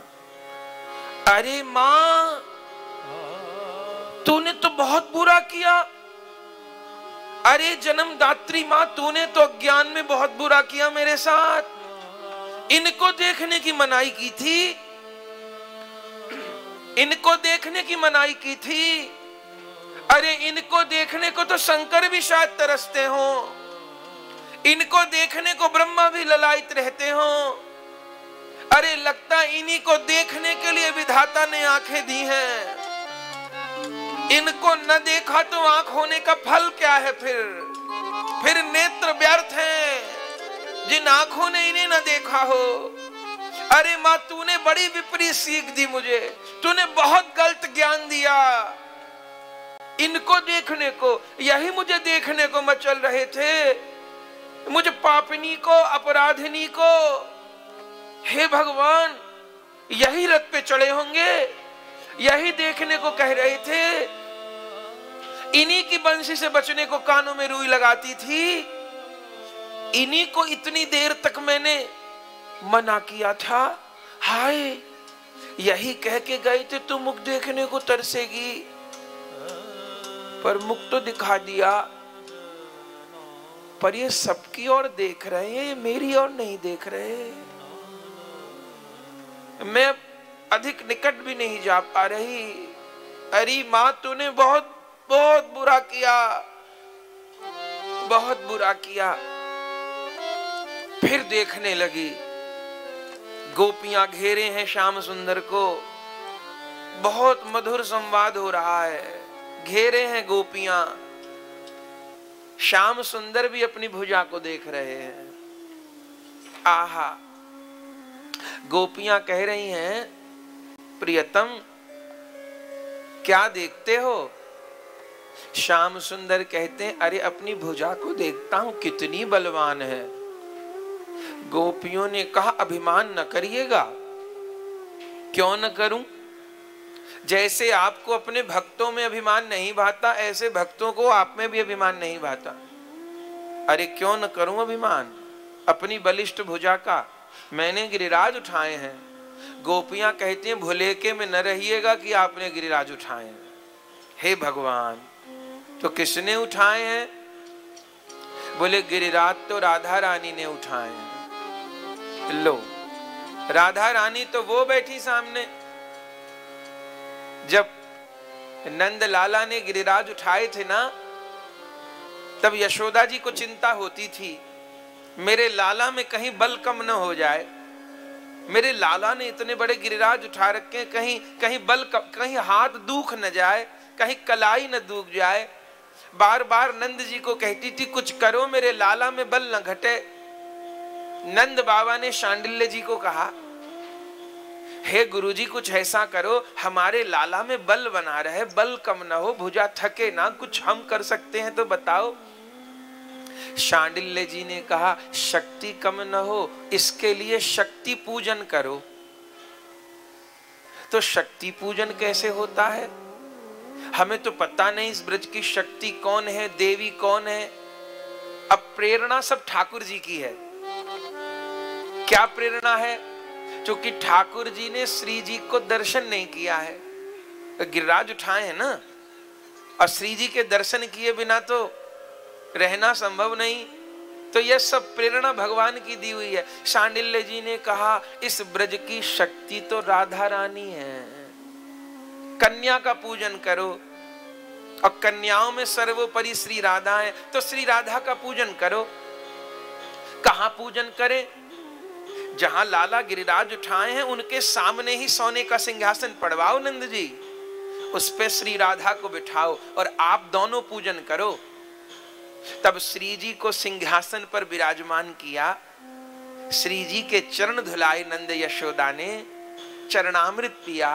फिर श्री जी के माथे पर तिलक किया, चुनरी उड़ाई, कन्या पूजन किया, भोग पवाया, आरती किए, दीपक जोड़ा और कहा, लाली, जब तक लाला गोवर्धन उठाए रखे, तुम यहीं बैठी रहना। श्री जी ने कहा, ठीक है बाबा। अब शक्ति पूजा, कन्या पूजन का तो बहाना था। ठाकुर जी को अपने सन्मुख श्री जी को बिठाना था। अब आनंद हो गया। अब बहाना तो कन्या पूजन का है, शक्ति पूजन का है। अब भगवान को अपनी अहलादनी शक्ति का दर्शन हो रहा अब तो अब तो ठाकुर कहते हैं, भले सात दिन नहीं, दो चार बरस इंद्र बरसाता रहे तो चिंता नहीं। ब्रजवासी भी कहते इंद्र, अब रुकना मत, बरसाते रहना तुम। अब रुकना मत, क्योंकि अहिर्निश रूप में गोविंद का अनुभव दर्शन हो रहा है। श्री जी का दर्शन हो रहा है ठाकुर जी को। गोपियाँ कह रही हैं, श्याम सुंदर, ये न समझना कि आपने गिरिराज उठाए। भगवान कहते हद हो गई। अरे, सबके सामने मैंने उठाया, किसने उठाया? गोपियों ने कहा, गिरिराज जी तो हमारी श्री जी ने उठाए बोले, श्री जी तो वो बैठी सामने, उन्होंने कब उठाए? गोपियों ने कहा अच्छा प्रियतम, एक बात का जवाब दो। क्या कि आप और प्रिया जी एक प्राण दो देह हो कि नहीं हो? हाँ है। आप श्री जी के भीतर हो कि नहीं हो? हाँ हूँ। अच्छा श्री जी के भीतर हो तो किस और हो? श्री जी के भीतर। श्री जी का जो दाया अंग है वो मेरा है। दाया शरीर पति का होता है, दाया भाग पति का होता है। अच्छा तो श्री जी के भीतर आप दाई और हो। अच्छा आपके भीतर श्री जी है कि नहीं है? मेरे भीतर भी श्री जी हम एक प्राण दो दे हैं। तो आपके भीतर श्री जी किस और है? मेरे भीतर मेरे भीतर श्री जी बाई और है। मेरा बाया अंग श्री जी का है। तो अब बताओ, गिरिराज, दाएँ हाथ पे उठाए थे कि बाएँ हाथ पे? ठाकुर जी कहते, मुझे ही फंसा दिया तुमने तो। उठाए तो बाएँ हाथ पे थे। तो अब सच सच बताओ, बाया हाथ, बाया चरण किसका है? है तो श्री जी का। तो गिरधर, सारा बोझ तो श्री जी पे डाल दिया। खुद को उठाने थे तो दाएँ हाथ पे उठाते। बाएँ हाथ पे क्यों उठाया? सारा बोझ तो शक्ति पे डाल दिया अहलादनी पे डाल दिया श्री जी पे डाल दिया, और खुद बन गए गिरधारी। अरे तुम गिरधर नहीं, हमारी राधा गिरधर है। ठाकुर जी बोले, ठीक, तुम जीती हो मैं हारा। तुम जीती हो मैं हारा। तो अब क्या कहोगे? तब ये दोहा माधवी ने भी सुना था ये सब लीला माधवी के सामने हो रही हैं, इसलिए चर्चा कर रहे हैं। तब ठाकुर जी ने एक दोहा बोला था, मैंने नहीं उठाया तो किसने उठाया? कछु माखन को बल बड़ो कछु गोपन करी सहाय। कुछ तो यशोदा मैया के माखन की कारीगरी है। मैया ने माखन खवाया काम आ रहा। और ये गोप, इन्होंने भी अपनी अपनी लाठी लगाई है। कछु माखन को बल बड़ो, कछु गोपन करी सहाय। और मेरे से पूछो तो श्री राधा जू की कृपा ते मैंने गिर बर लियो। श्री जी की कृपा, मैं भी मानता हूँ। श्री जी की कृपा से मैंने गोवर्धन उठाया। अब सीधे रास्ते पे आए। तब माधवी ने श्री जी को देखा। ओहो, उन करुणामयी को, उस दर्शन को व्यक्त कैसे किया जाए? यदि केवल मीराबाई को पूर्व जन्म में और फिर अगले जन्म में भी जो जो दर्शन हुए हैं, उस केवल दर्शन का चिंतन बने तो शायद एक न्यारी कथा हो जाए। घटनाक्रम तो है ही, उनको तो सुनेंगे। लेकिन आस्वादन करना है। हमें कोई कोर्स पूरा नहीं करना है। कथा तो जीवन है। कथा तो गोविंद से मिलाने का साधन है। भक्त माल से भगवान राज़ी क्यों रहते हैं? क्योंकि इस कथा में भक्त और भगवान का बार बार मिलन होता है। आज गोपाल बड़े प्रसन्न होंगे। और बंधुओं, जैसे श्री राम कथा के प्रधान श्रोता हनुमान जी हैं भागवत कथा के प्रधान यजमान परीक्षित हैं। ऐसे भक्तमाल में लिखा है, भक्तमाल कथा के प्रधान यजमान, प्रधान श्रोता कौन है? हरि जी आय विराजिए, सुनो कथा इतिहास। तुम श्रोता भक्तमाल के तुव पद रज हम दास। इस कथा को हम आप तो सुन रहे हैं, सब भाई बहन सुन रहे हैं, पर सत्य मानिए, कहीं छिपके गोपाल भी सुन रहे हैं। हमको भले न दिखे। और छिपके क्यों? आप सब प्रेमी जनों के हृदय में बैठ के सुन रहे हमारे आपके द्वारा सुन रहे हैं। अरे सुन नहीं रहे, किसी के द्वारा कहला रहे हैं। और किसी के भीतर बैठे सुन रहे हैं। ये गोविंद का ही पसारा है सब। उन्हीं का संकल्प होगा। इस मन भरी फारम में ठाकुर जी के मन की बात हो मन की बात हो या ठाकुर जी के मन की बात हो रही, मीराबाई के मन की बात हो रही। करना यही है, भक्त और भगवान के मन के साथ मन लगाना है। मन लगाना है। श्री जी का दर्शन किया था, क्या उस सुख का वर्णन करे? बस अब माधवी पागल होने से बच नहीं पाई वो भी पागल हो गई। वो सात दिन कम्मे को बीते पता नहीं पड़ा। गोपियाँ अपनी धुन में कितने कितने गीत गा रही थी। माधवी को कोई कोई अनुसंधान नहीं। वो बस अहिर्निश रूप में दर्शन कर रही हैं। और बंधुओं सात दिन कम्मे को पूरे हुए पता नहीं पड़ा। इधर सात दिन पूरे हुए, वर्षा थम गई। इंद्र ने अपने अपराध की क्षमा मांगी। चरणन में तब गिर पर्यो, क्षमा करो अपराध। हे जग करता आपकी लीला अगम अगाध। इंद्र ने क्षमा मांगी। अब भगवान ने जल्दी क्षमा कर दिया। क्यों? अपराध तो बहुत बड़ा था इंद्र का, लेकिन जल्दी क्षमा कर दिया। क्यों? क्योंकि इंद्र के किए गए अपराध का परिणाम बहुत सुंदर हुआ। सात दिन और सात रात के लिए भक्त और भगवान एक हो गए। तो भगवान ने कहा, ठीक है, तूने बुरे के लिए किया हो गया। अच्छा तो माफ़ किया। इंद्र को क्षमा दान दे दी और फिर ठाकुर जी ने सब ब्रजवासियों से कहा, अब सब लोग गिरिराज जी से बाहर आ जाओ. धीरे धीरे सब ब्रजवासी निकलने लगे। नंद बाबा के सशस्त्र सैनिक, नंद बाबा यशोदा जी सब परिकर धीरे धीरे यशोदा मैया कहती थी, कन्हैया, तू भी चल। कन्हैया ने कहा, माँ, मैं नहीं, पहले आप निकलिए। मेरे पे तो गिरिराज ठाड़े हैं। जब सब चले जाएँगे, तब मैं निकलूँगा।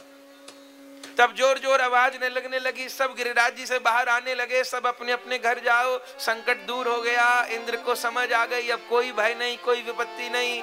सबके घर सुरक्षित हैं। सबका सामान, गोधन सब सुरक्षित है। उपद्रव शांत हो गया। सब लोग चले गए। पर मीरा तो जैसे कुछ सुनी नहीं रही थी। माधवी तो बस ऐसे अपनी ठोड़ी पर हाथ रखे उस गिरधर मूर्ति के दर्शन कर रही है। और सब लोग कह के थक गए, पर माधवी तो खड़ी रही। सब लोग चले गए, सब लोग चले गए। आखिर में गिरिराज जी के नीचे केवल गिरधारी बचे और दूसरी माधवी। कोई शायद उस माधवी को देख भी नहीं पाए, नहीं तो जबरन लेके जाते। शायद देख नहीं पाया होगा कोई।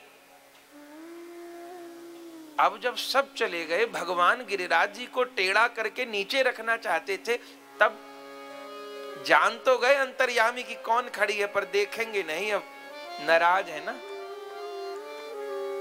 कहते हैं, कोई भी बच गया हो तो निकल जाए, और जो बच गया गिरिराज रखने के बाद नहीं बच पाएगा। माधवी तब भी नहीं ली। तब भगवान ने कहा, अरे बहरी, सही में बहरी है। सुंदर माना नहीं, ये बहरी है, सही में बहरी है। तब भी नहीं सुना, अब भी नहीं सुन रहा, ये बहरी है। ओ बहरी, निकलो देवी बाहर, अब गिरिराज जी के नीचे ही दबके मरना है क्या? जब बहुत कहा, तब माधवी की चेतना भंग। तब भगवान को देखा और जान गई कि मुझे लक्ष्य करके कुछ कहा जा रहा है। और उस समय भगवान के चरणों के पास आकर गिरी। हे गोविंद, क्षमा क्षमा क्षमा। मेरे ठाकुर, मुझे क्षमा करो। क्षमा करो। बहुत अपराधनी हूँ, बहुत पापनी हूँ। मुझे पता नहीं था। मेरी माँ ने मुझे बड़ी उल्टी सीख दी थी। मुझे माफ़ कर दो गोविंद। मुझे बिल्कुल पता नहीं था। बहुत गलत सीख दी मुझे मेरी माँ ने। अब मुझ पर दृष्टिपात करो। तुम्हारे नेत्रों से तो अमृत झरता है। मैं तुम्हारी महिमा जान गई। अब दृष्टि पास करो। जिसको देवता ब्रह्म कहते हैं, वो तुम ही हो। शंकर अपने हृदय में जिसका ध्यान करते हैं, वो तुम ही हो। मेरी माँ तो तुमको जादूगर कहती थी, पर वो भी गलत नहीं, तुम सही में जादूगर हो। तुम सही में जादूगर हो। अब जादू करके ऐसे ही तड़पाओगे, दृष्टिपात तो कर दो। ब्रज में सबको अपना कहते हो। एक बार अपने मुख से मेरा नाम तो ले दो। ये कह दो कि तू मेरी है, ये कह दो कि तुझे क्षमा किया, पर भगवान ने देखा तक नहीं। माधवी रोती रही, भगवान ने दृष्टिपात नहीं किया। माधवी लगातार रोती रही, यदि नहीं माफ़ करोगे तो इसी गिरिराज के नीचे दबके मर जाऊँगी, भले तुम गिरिराज को रख के चले जाना। तुम्हारे विरह में मरने से अच्छा इस गिरिराज के नीचे चकना चूर हो जाऊँ। जब बहुत कहा, तब अंत में भगवान ने कहा, सुनो माधवी, इस जन्म में जितनी कृपा पानी थी, पा चुकी। देखो माधवी, कृपा की अवहेलना नहीं की जाती। जीवन में दुर्भाग्य लगातार व्यक्ति का दरवाज़ा खटखटाता है। सौभाग्य तो जीवन में एक बार खटखटाता है। भाग्यवान उसको कहते हैं, समझदार उसको कहते हैं, सौभाग्य दरवाज़ा खटखटाए तो दरवाज़ा खोल दे। फिर सोचे ना, विलंब न करे। हे माधवी, मैं जीवन में एक बार प्रत्येक जीव का आह्वान करता हूँ। प्रत्येक जीव को अपने से जुड़ने का भगवत प्रेम पाने का अवसर देता हूँ। जो समझदार होता है, सत्संगी होता है, उस अवसर का लाभ उठा लेता है। मेरी परम कृपा को, प्रेम को प्राप्त कर लेता है और जो नहीं संभाल पाता, वो चूक जाता है। मैं रथ पर चढ़कर बार बार कहता रहा, तूने घूंघट तक नहीं उठाया। इतना मैंने किसी को नहीं कहा होगा। मेरे से गलती हो गई प्रभु। अनजान थी। क्षमा करो मेरे ठाकुर। तुम केवल रूप के सागर नहीं, तुम केवल सौंदर्य के नहीं, तुम करुणा के भी सागर हो। मुझे माफ़ करो मेरे ठाकुर। देखो माधवी, माफ़ी तो मिलेगी, लेकिन तुमको कलयुग में जन्म लेना पड़ेगा। कलयुग? कलयुग तो बहुत दिनों बाद आएगा। वो तो बहुत भयानक युग है। हाँ मैं सोचता था, अपने किस भक्त को कलयुग में भेजूं? तो बहुत भक्त हैं। मैं भक्त कहा? मैं अपराधिन। मुझे कलयुग में क्यों भेजना चाहते हो? देखो माधवी, कलयुग में बहुत विकट समय होगा। मेरे कितने भक्त, मेरे कितने भक्त, उद्धव जी सूरदास जी के रूप में उतार लेंगे। महर्षि वाल्मीकि जी, गोस्वामी तुलसीदास जी बनेंगे। प्रहलाद जी, नामदेव जी बनेंगे। कोई भक्त सैन नाई बनेगा, कोई भक्त धन्ना भगत बनेगा। स्वयं मेरी श्री राम वाली मूर्ति श्री रामानंदाचार्य जी के रूप में प्रकट होगी प्रयागराज में। स्वयं मेरे पूर्व अवतार में छोटे भाई लक्ष्मण जी रामानुजाचार्य जी के रूप में कलयुग में प्रकट होंगे। स्वयं अग्निदेव श्री वल्लभाचार्य जी के रूप में प्रकट होंगे। स्वयं में, स्वयं मैं राधा रानी से एक होकर श्री कृष्ण चैतन्य महाप्रभु जी के रूप में अवतार लूँगा। मेरे सब भक्त जाएँगे, लेकिन उन भक्तों में किसी स्त्री भक्त का नाम नहीं है। प्राय सब पुरुष हैं। अब मुझे एक स्त्री भक्त भी चाहिए, जो जाकर स्त्रियों के सामने भी आदर्श उपस्थित कर सके ना, कि स्त्री शरीर में जन्म लेकर भी कैसी भक्ति की जा सकती है? घर गृहस्थी में रहकर कैसे भगवान को प्राप्त किया जा सकता है? ऐसा एक प्रेम का उदाहरण, एक स्त्री शरीर के द्वारा उदाहरण भी उपस्थित करना अनिवार्य है। माधवी इस जन्म में तो मेरी इच्छा पूरी नहीं की, उस जन्म में तुमको मेरी इच्छा पूरी करनी पड़ेगी। तुम्हारी इच्छा है हाँ इससे मुझे प्रसन्नता होगी। तुमको कलयुग में राजपूत राठौड़ वंश में जन्म लेना होगा। छत्राणी बनोगी। भारत के राजस्थान प्रांत में मेड़ता नगर में जन्म लोगी। पवित्र माता पिता के यहाँ कलयुग तो बहुत कठिन होता है प्रभु। कठिन तो होता है। ताप तो लगेगा। विरह के ताप में खूब तपोगी। जगत के द्वारा खूब परीक्षा ली जाएगी। पर मेरी कृपा तुम्हें संभालेगी। उस जन्म में तुम्हारा नाम मीरा होगा।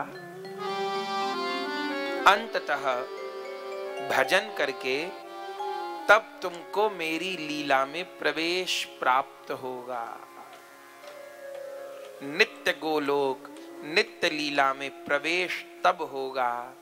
अभी नहीं, इस जन्म में जो कृपा प्राप्त करनी थी, हो चुकी। ये कहकर माधवी को बाहर कर दिया। भगवान ने गिरिराज रख दिए। माधवी अपने घर लौट आई जो माधवी पहले भगवान की चर्चा सुनने से बचती थी, अब जब लौट के आई, अब रात दिन अपनी सास से केवल एक ही बात पूछती हैं।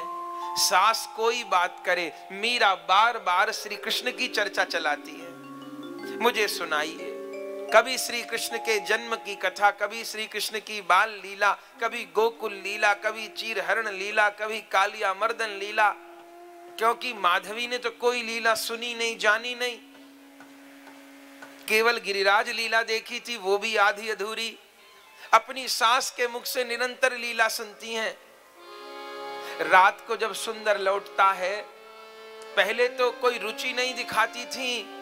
अब तो बार बार आग्रह पूर्वक अपने पति से आज कहा गए थे? आज कौन से वन में गए थे? तब सुंदर श्याम सुंदर की चर्चा सुनाते सोने लगते फिर पूछती अच्छा उ, उस दिन की बात बताइए उस दिन जो आपने बताया था क्या हुआ था? पति पत्नी के बीच पूरा समय केवल कृष्ण चर्चा में बीतता। जो बंसी सुनने से बसती थी, शाम होते ही अपनी सास से कहने लगती थी, दोपहर से माधवी, माँ, फूल की थाली तैयार कर लूँ, माला पिरो लूँ चरण धुलाने को जल ले आऊँ, आप कहो तो कुछ भोग बना लूँ, अनेक सारे दीपक सजा लूँ, द्वार पे दीपक सजा लूँ। आप अपने पुत्र से पूछिए ना, इस तरफ़ कब निकलेंगे प्रभु गौचारण करके? सास कहती है, गजब हो गया मैं तो गिरिराज पूजने गई, गिरिराज जी को प्रार्थना करके आई कि मेरी बहू को सद्बुद्धि दो। मुझे नहीं पता था गिरिराज जी इतने सच्चे देवता इतनी जल्दी सुन लेंगे।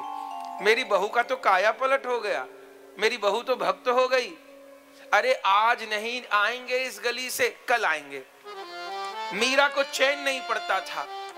पूरा दिन सास तो एक दीपक तैयार करने को कहती थी। जिस दिन ठाकुर जी घर के आगे से निकलते थे, मीरा तो उस दिन दिवाली मनाती थी। अटारी पर आँगन में चारों ओर दीपक सजाती थी, रास्ते में फूल सजाती थी।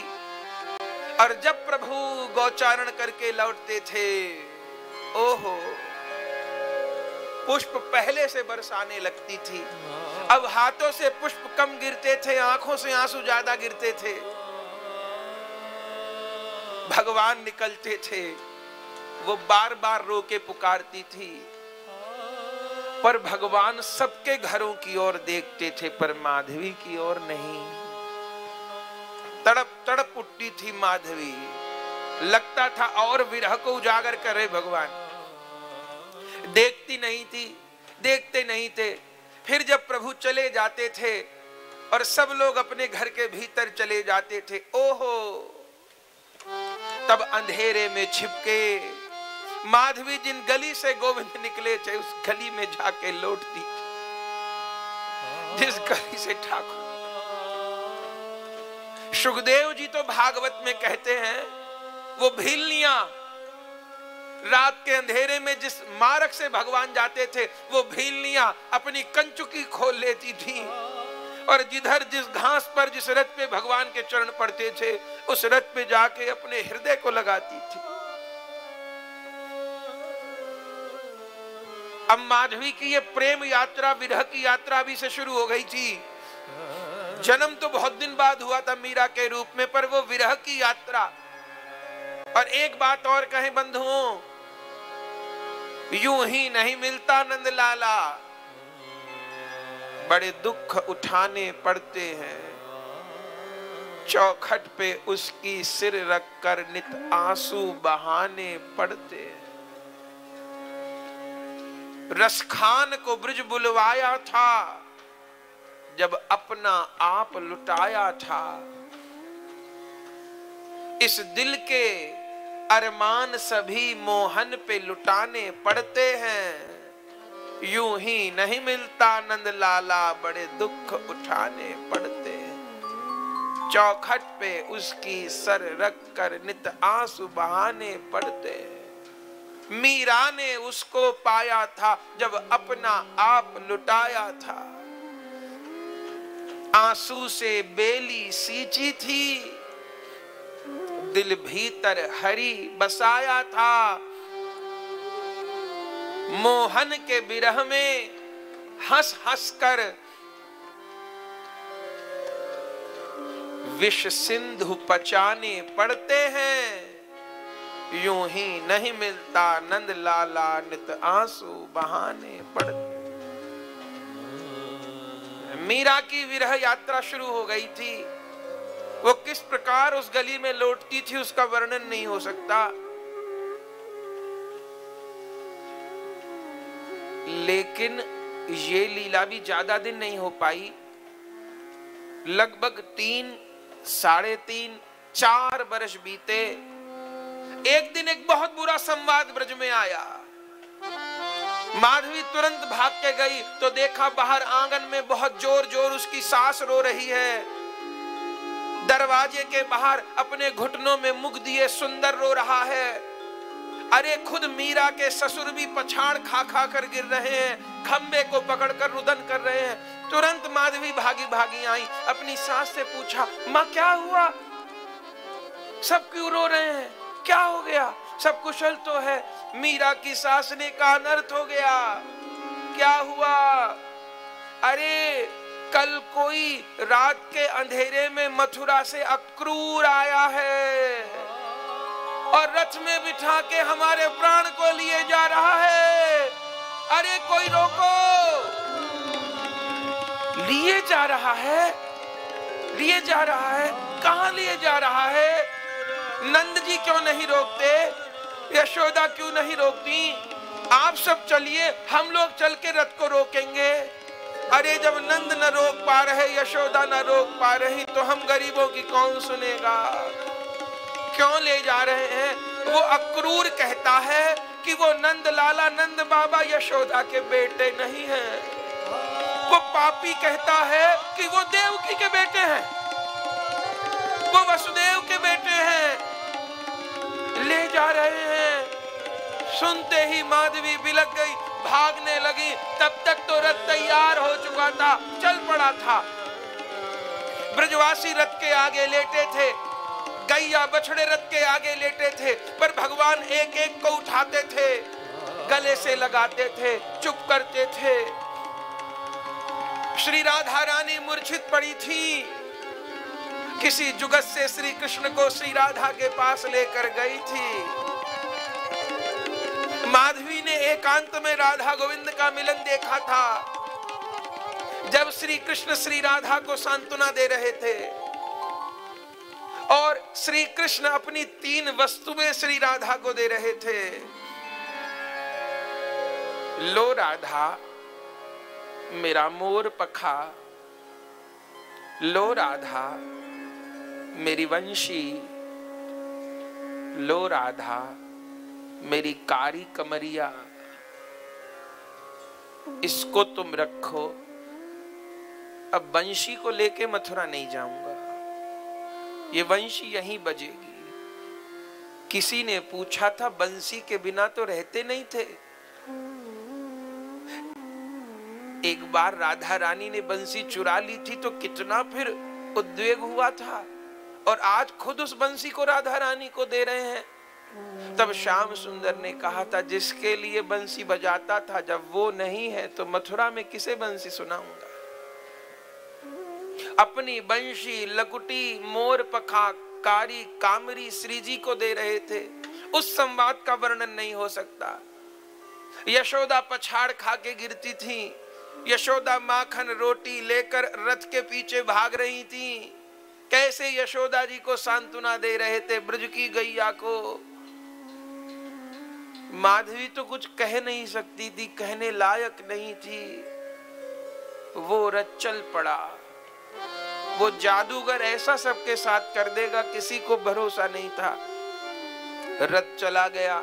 सारे ब्रजवासी अचेत होकर गिर पड़े। माधवी को ऐसा लगता था, अचानक सबके प्राण निकल गए हों। अब ब्रज एकदम शांत, एकदम निर्जन, एकदम निरीह। कुछ नहीं था।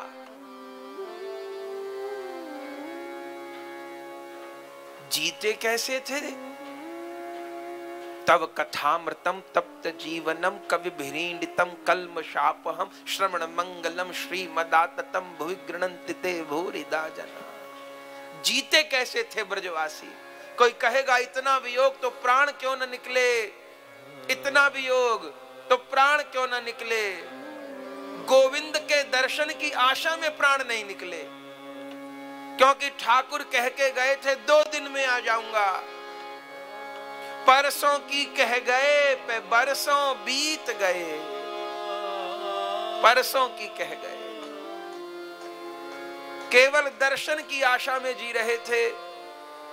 दस बीस ब्रजवासी मिलकर पूरे दिन कृष्ण चर्चा करते थे।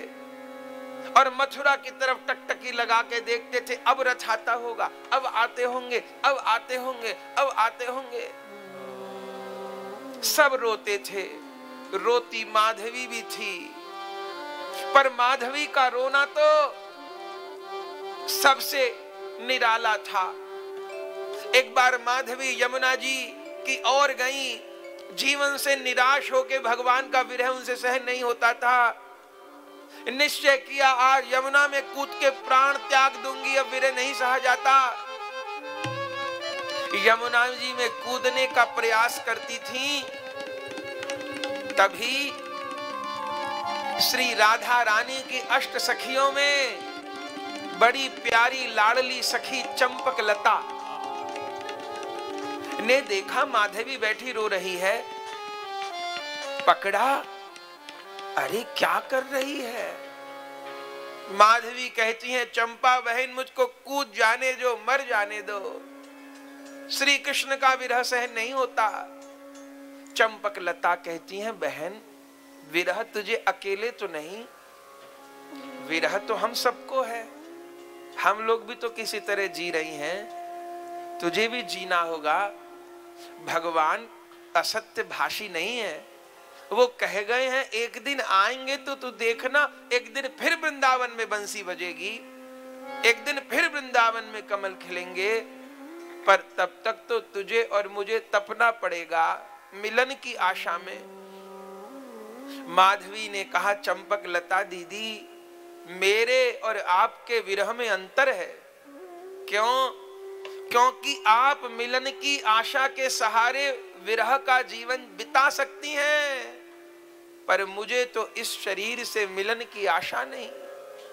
क्यों? क्या हुआ? मैं नहीं समझ पा रही। तब मीरा बाई ने इतना ही कहा कि आपने तो प्रभु को पाके खोया है। आपने श्याम सुंदर को पाके खोया है। इस माधवी ने तो बिना पाए खोया है। मेरे और आपके विरह में अंतर है। आपको आशा है और मेरे जीवन में अब केवल निराशा है। आशा नहीं बची। तब सब बात खोल कर बता दी। चंपक लता भी सुन के आश्चर्य में रह गई। माधवी को कहा, देख, आत्मदाह नहीं करना। श्री कृष्ण की भी भगवान श्री राधा है। तू उनके पास चल। तू कभी उनके पास गई है? श्री जी से कभी वार्तालाप किया है? नहीं नहीं। बस एक बार गिरिराज लीला में दूर से देखा था, फिर देखने का, अरे बावरी, चल उनके पास। उनके पास हर रोग की दवा है। कोई ऐसी समस्या नहीं जो प्रिया के चरणों में समाहित न हो सकती हो। तब चंपक लता हाथ पकड़ कर ले गई श्री जी के चरणों में, जहाँ करुणामयी श्री राधा, एक दिव्य निकुंज में विराजमान थी। अष्ट सखिया श्री जी को घेरे हैं। अब फिर माधवी को दर्शन हो रहा मीरा चरित्र में खूब दर्शन है। अष्ट सखियों से सेवित श्री जी दिव्य निकुंज में बैठी हैं। जिनके अंग अंग से कृष्ण नाम की ध्वनि निकल रही है। आहा, उस झांकी का, उस प्रेम का वर्णन असंभव है। गोपी अपनी कुंज में बैठी, खड़िया से दीवालों पर सीधी सीधी लकीर एक एक एक ऐसा लिख रही है। माधवी ने चंपक लता जी से पूछा, उस गोपी को क्या हुआ? वो ये क्या कर रही है? बोले, छोड़ो, ये तो पागलों की दुनिया है। क्या कर रही है? वो दिन गिन रही है। दिन गिन रही है। कैसे दिन गिन रही है? भगवान कह गए हैं, दो दिन में आऊँगा तो दिन गिनती है, कब दो दिन होंगे? अभी तक दो नहीं हुए। अरे, उसको लाख बार समझाया कि एक जमा एक बराबर दो होता है, पर वो बावरी तो कहती है, एक जमा एक बराबर भी एक होता है। संसार के गणित में एक जमा एक बराबर दो होता है।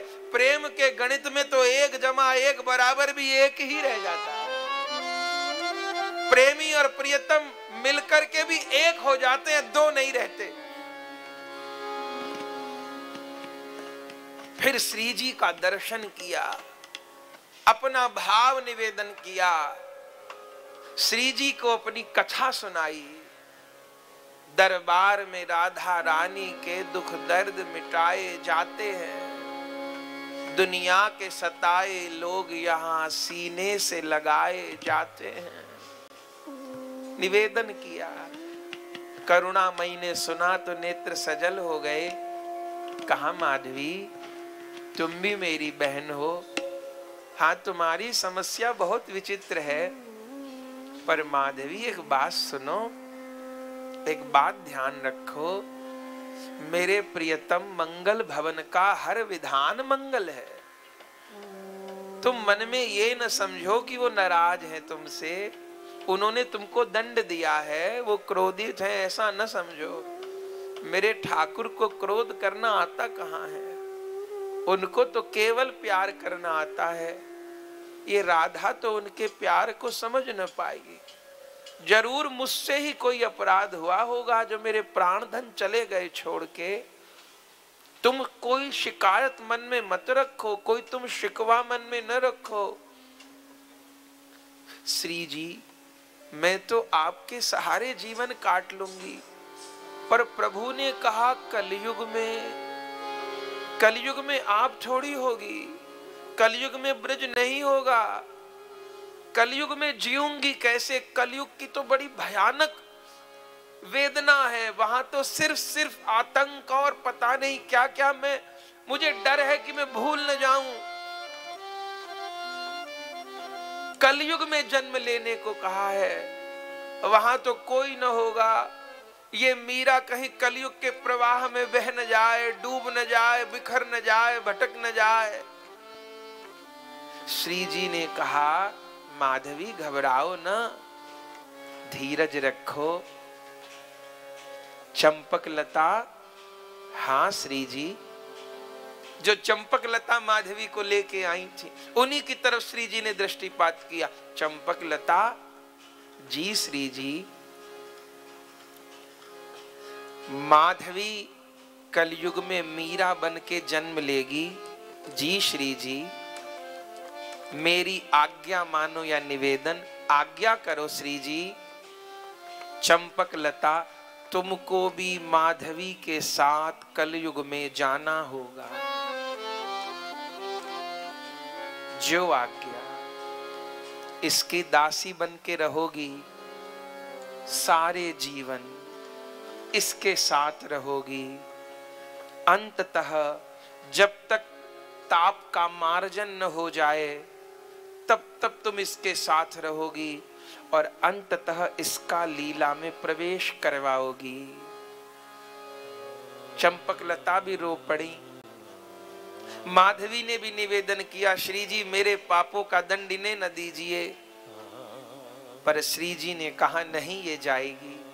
इसके रहने से तुमको बहुत आधार हो जाएगा, साथ मिल जाएगा। तब बंधुओं, ये सब मीरा चरित्र की भूमिका है। क्योंकि मीरा चरित्र में बार बार एक चंपा दासी का नाम आएगा। वो चंपा दासी जो गुजर के घर में हम लोग आगे के प्रसंगों में सुनेंगे, पर ये सब आधार है। ये साक्षात श्री जी की चंपक लता सकी चंपा दासी के रूप में, मीरा जी के संपूर्ण जीवन में, संपूर्ण जीवन में रहेंगी। बस द्वारिका जाने से कुछ दिन पहले अंतर्धान होंगी। माधवी को कुछ भरोसा हुआ। अब धीरे धीरे करके वो सौ वर्ष भी बीत गए। सौ साल। ब्रजवासियों को कितने दिन का वियोग हुआ था? सौ वर्ष का। क्यों हुआ था? ये कोई दंड नहीं था। दंड नहीं था। ये प्रिया प्रियतम की योजना थी। भक्तों को विरह की महिमा कैसे बताई जाए?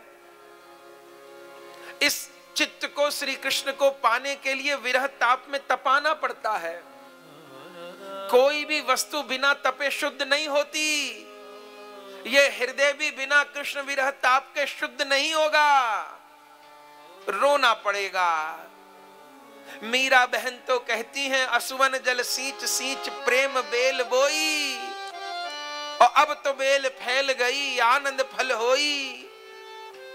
कबीर बाबा कहते हैं, कबीरा, हंसना बंद कर, रोने से कर प्रीत, रोने से ही पाइए प्रेम प्यारा मीत।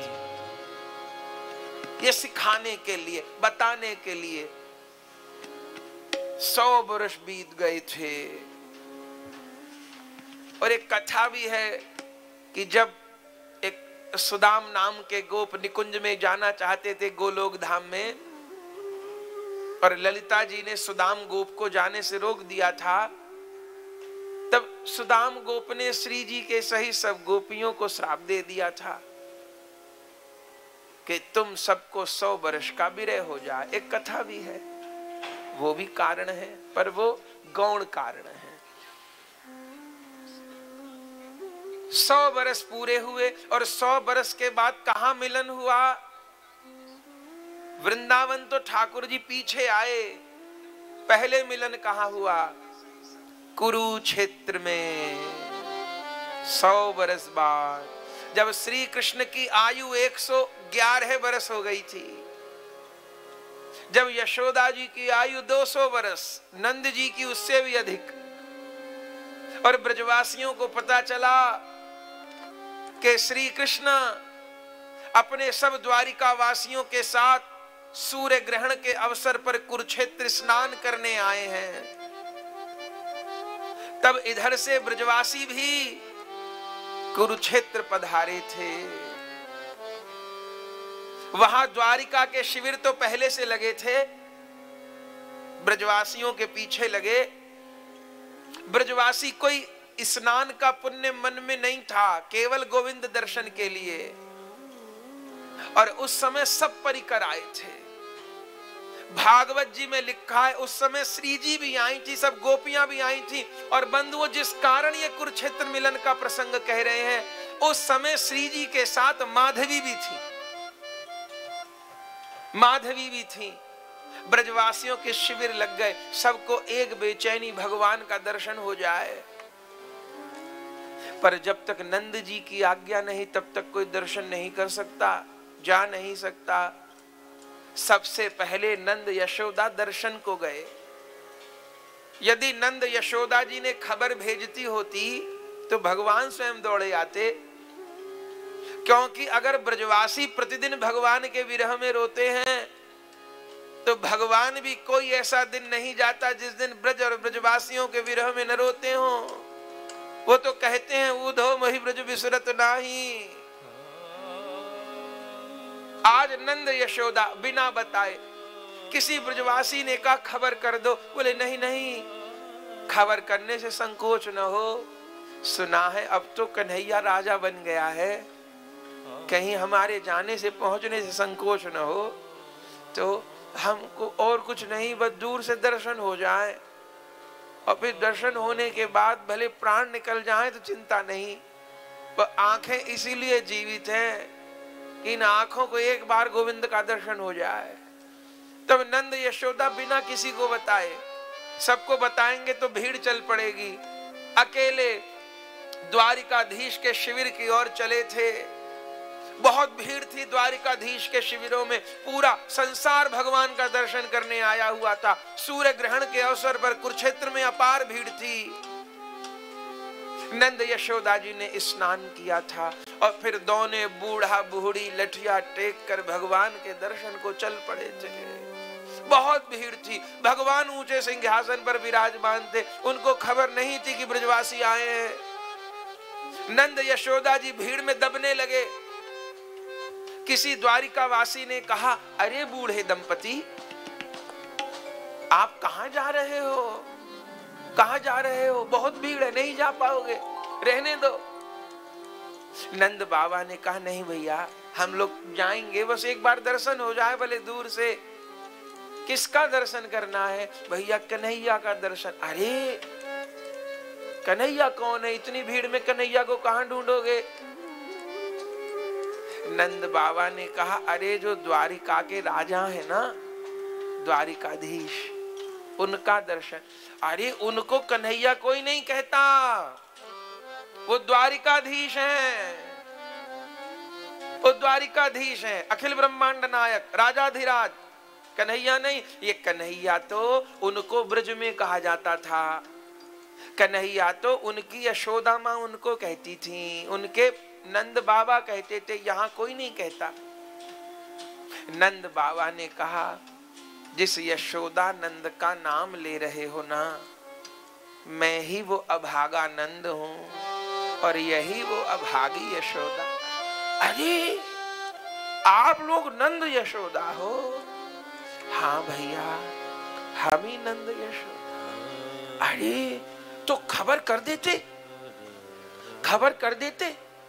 आपके लिए भगवान रथ भेज देते, रास्ते में कालीन बिछवाते, आदर के साथ बुलवाया जाता। नहीं नहीं, आदर नहीं चाहिए।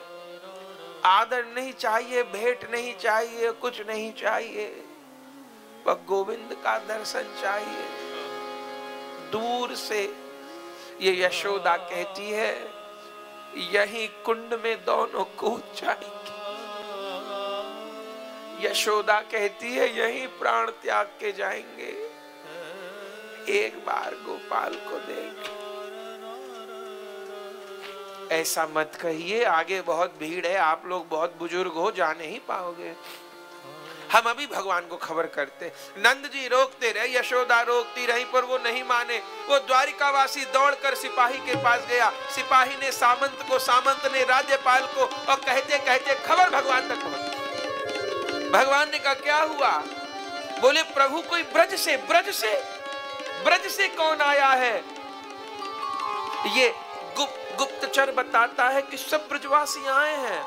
उस और सरोवर के शिविर लगे हैं। उनमें से दो बूढ़े दंपति आपके दर्शन को, बूढ़े दंपति कौन है? वो अपना नाम नंद यशोदा नंद यशोदा बताते हैं अपना नाम। कहा है? वो कहीं भीड़ में। ओहो, कौन वर्णन करे? भगवान कूद पड़े सिंहासन से। रथ, रथवान रथ रथ कहते कहता थक गया। भगवान, पैदल। बाबा, मैया बाबा मैया बाबा, मैया, कहते कहते भागे। सब भीड़ ने रास्ता छोड़ दिया। भागते भागते यहाँ दूर नंद यशोदा खड़े थे, पहुँचे। ओहो, जहाँ देखा दूर से नंद यशोदा को, वहीं भगवान ने मुकुट उतार के भूमि पे लेट के प्रणाम। भूमि पे लेट के प्रणाम किया। दूर से धीरे धीरे चलते चलते नंद यशोदा निकट आ गए। अब तो नंद यशोदा को दिखाई भी बहुत कम देता है। वो तो रोते रोते अंधे जैसे हो गए थे। समझ नहीं पा रहे थे। भगवान लेटे थे धरती में। तब उसी द्वारिका वासी ने कहा, बाबा, प्रभु आ गए। तब नंद जी समले और जो देखा, अरे, यशोदा जी ने कहा, क्या हुआ? अरे, मैंने तो मना किया था, इन्होंने कन्हैया को खबर कर दी, ये लोग कहते हैं ओ कन्हैया धरती में पड़ा है।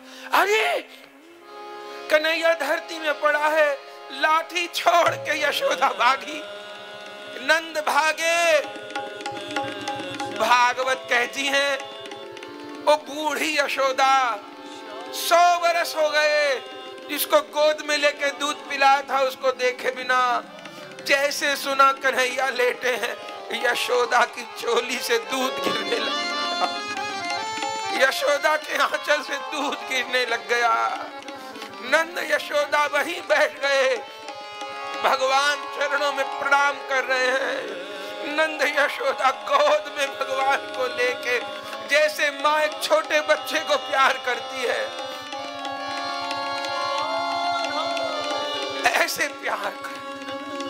ओ, कैसे वर्णन हो? कैसे वर्णन हो? कब तक? जाने कब तक? कब तक उस नंद यशोदा के मिलन को? कब तक उस कृष्ण मिलन को? नंद यशोदा के विरह को? बहुत देर हो गई थी, बहुत देर। इतनी देर में तो सब द्वारिका वासी वसुदेव भी, देवकी भी रोहिणी भी, बलराम जी, सब आ गए थे। किसी तरह श्री कृष्ण को संभाला था। श्री कृष्ण नीचा मुख किए अपराधी की तरह अपने माता पिता के सामने खड़े हैं। शब्द नहीं निकलते। एक ही शब्द, क्षमा कर दो। क्षमा कर दो। क्षमा नंद यशोदा का हृदय द्रवीभूत हो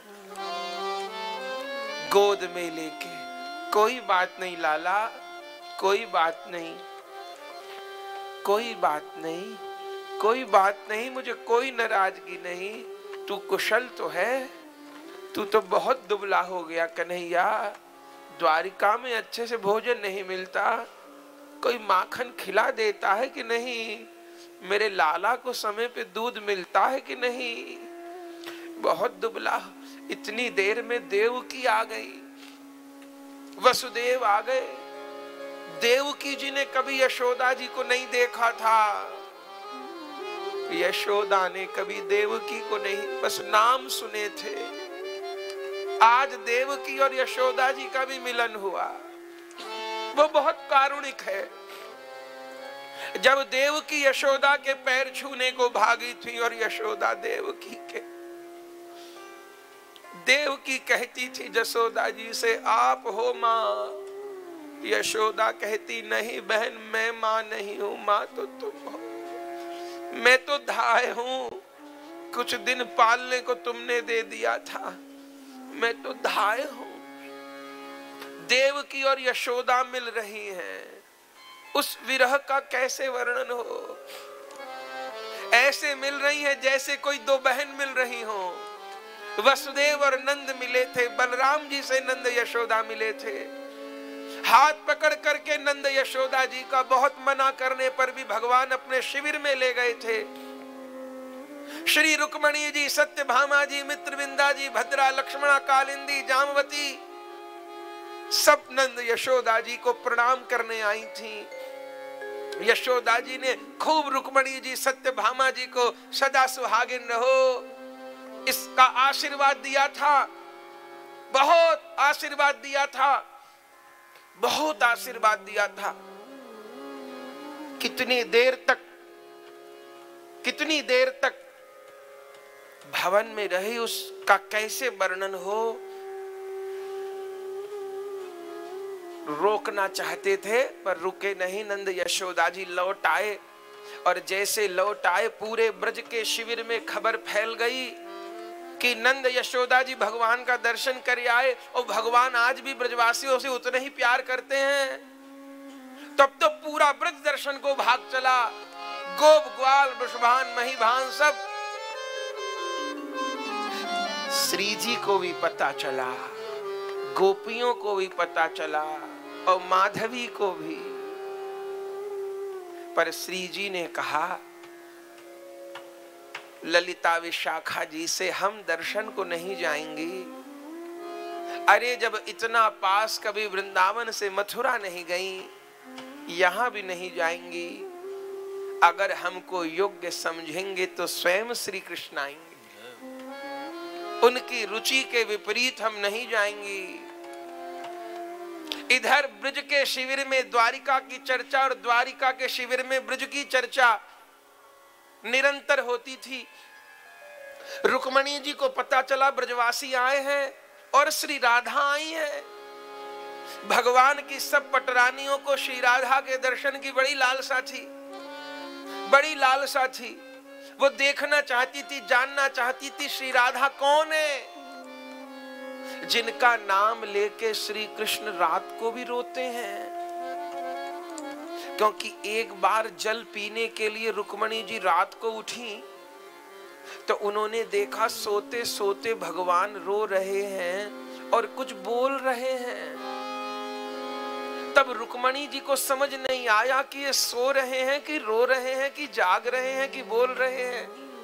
तब दबे पाँव रुकमणी पास गई और कान लगा के सुनना चाहा, द्वारिकाधीश सोते सोते रोते रोते क्या बोल रहे हैं? तो कान लगा के सुना तो द्वारिकाधीश के मुख से हा राधा।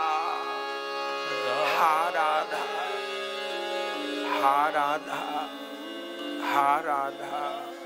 ये शब्द निकल रहे हैं। तब जानना बहुत चाहा, पूछना बहुत चाहा, पर न जान पाई। बस रोहिणी माँ से इतना पता चला कि कोई प्रेम की देवी जो वृंदावन में रहती हैं, उन्हीं के प्रेम के वसीभूत गोविंद हैं।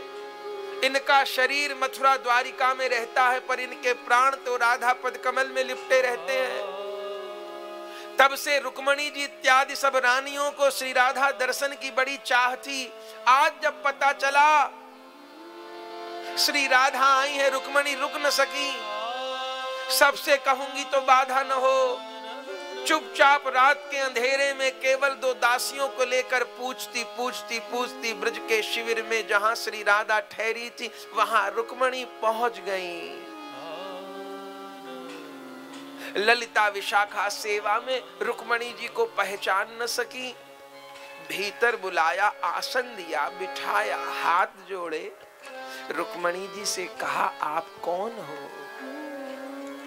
रुक्मणी जी ने कहा, मैं श्री राधा का दर्शन करना चाहती हूँ।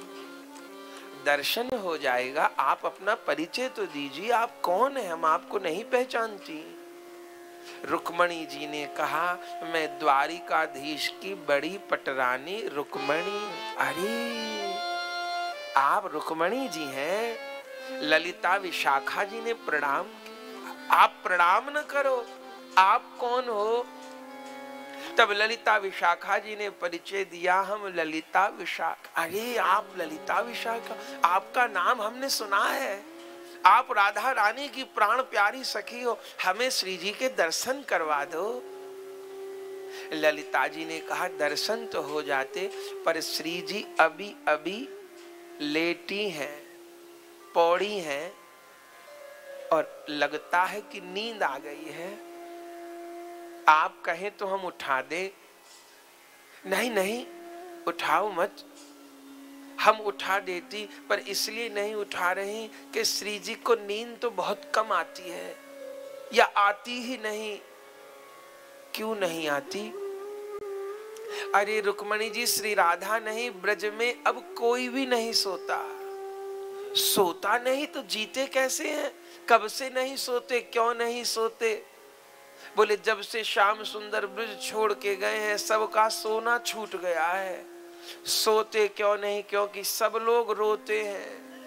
आँखों के आँसू सूखे तो आँखों में नींद आए। सब लोग रोते हैं। थोड़ी देर को श्री जी को तंद्रा आई है।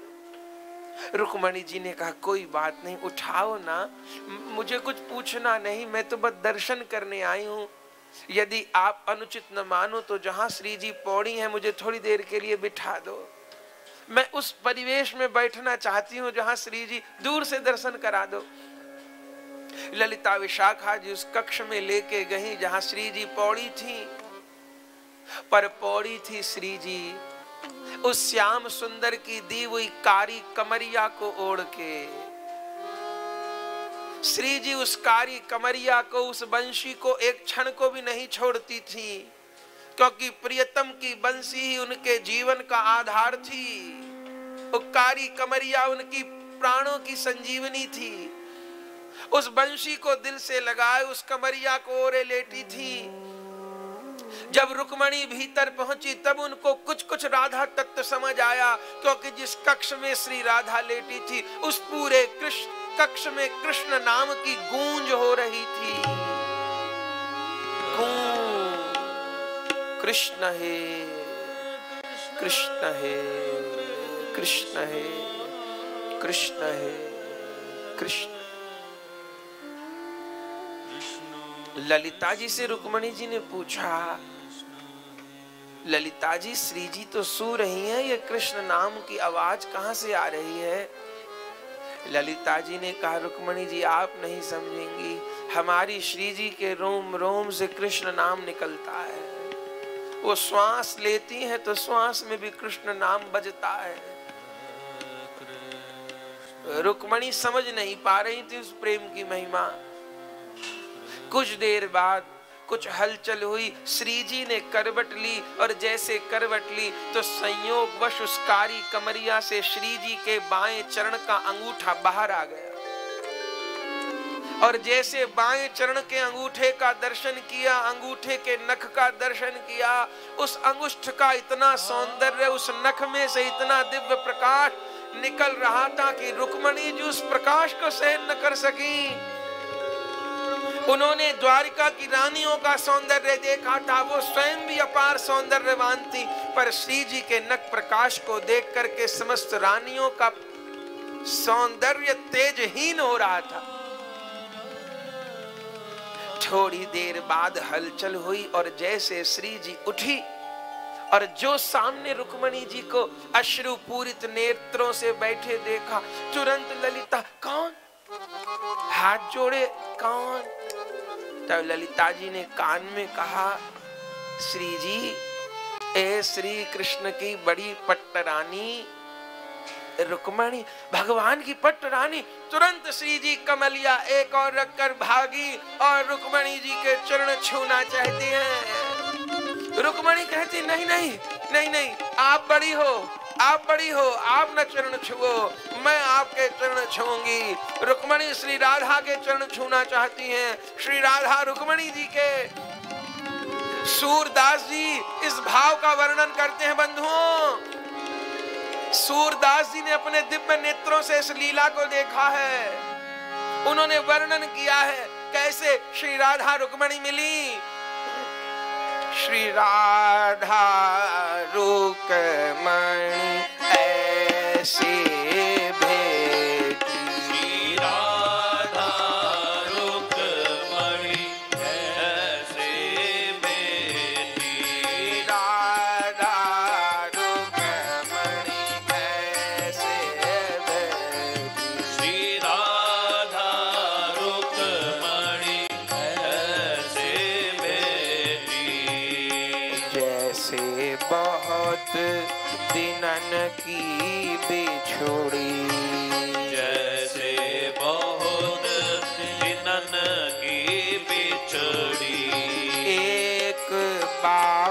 की बेटी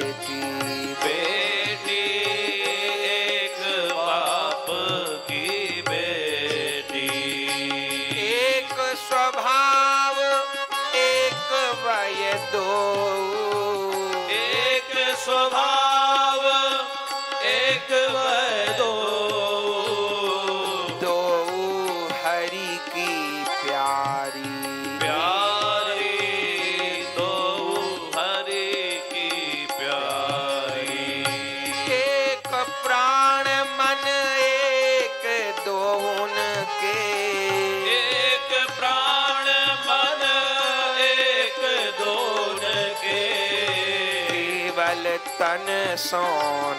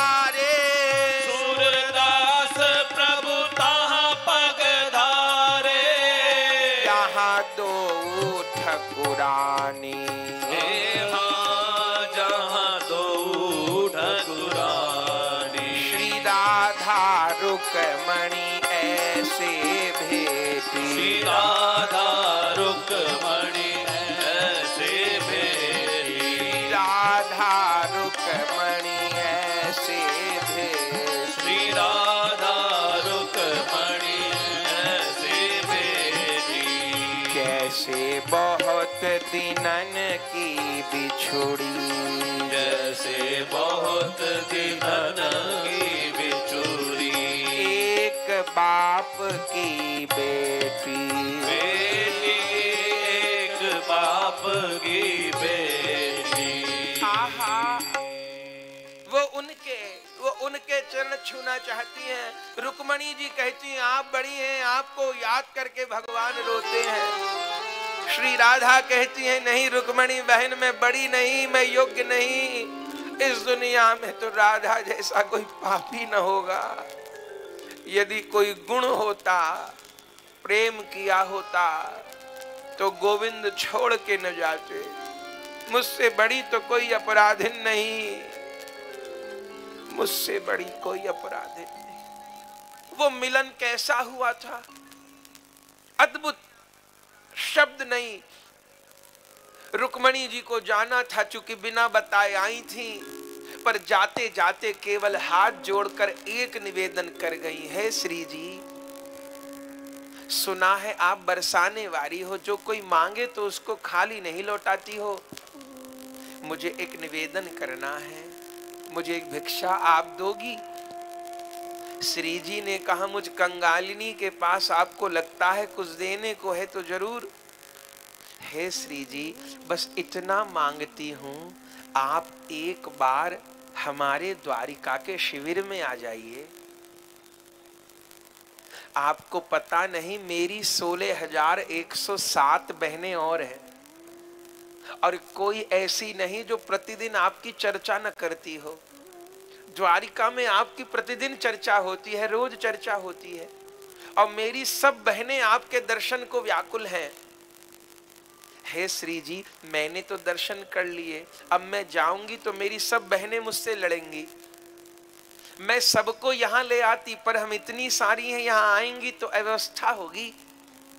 आपसे प्रार्थना है, आप यदि चरण डालो तो हम लोगों के घर आँगन पवित्र हो जाएँगे।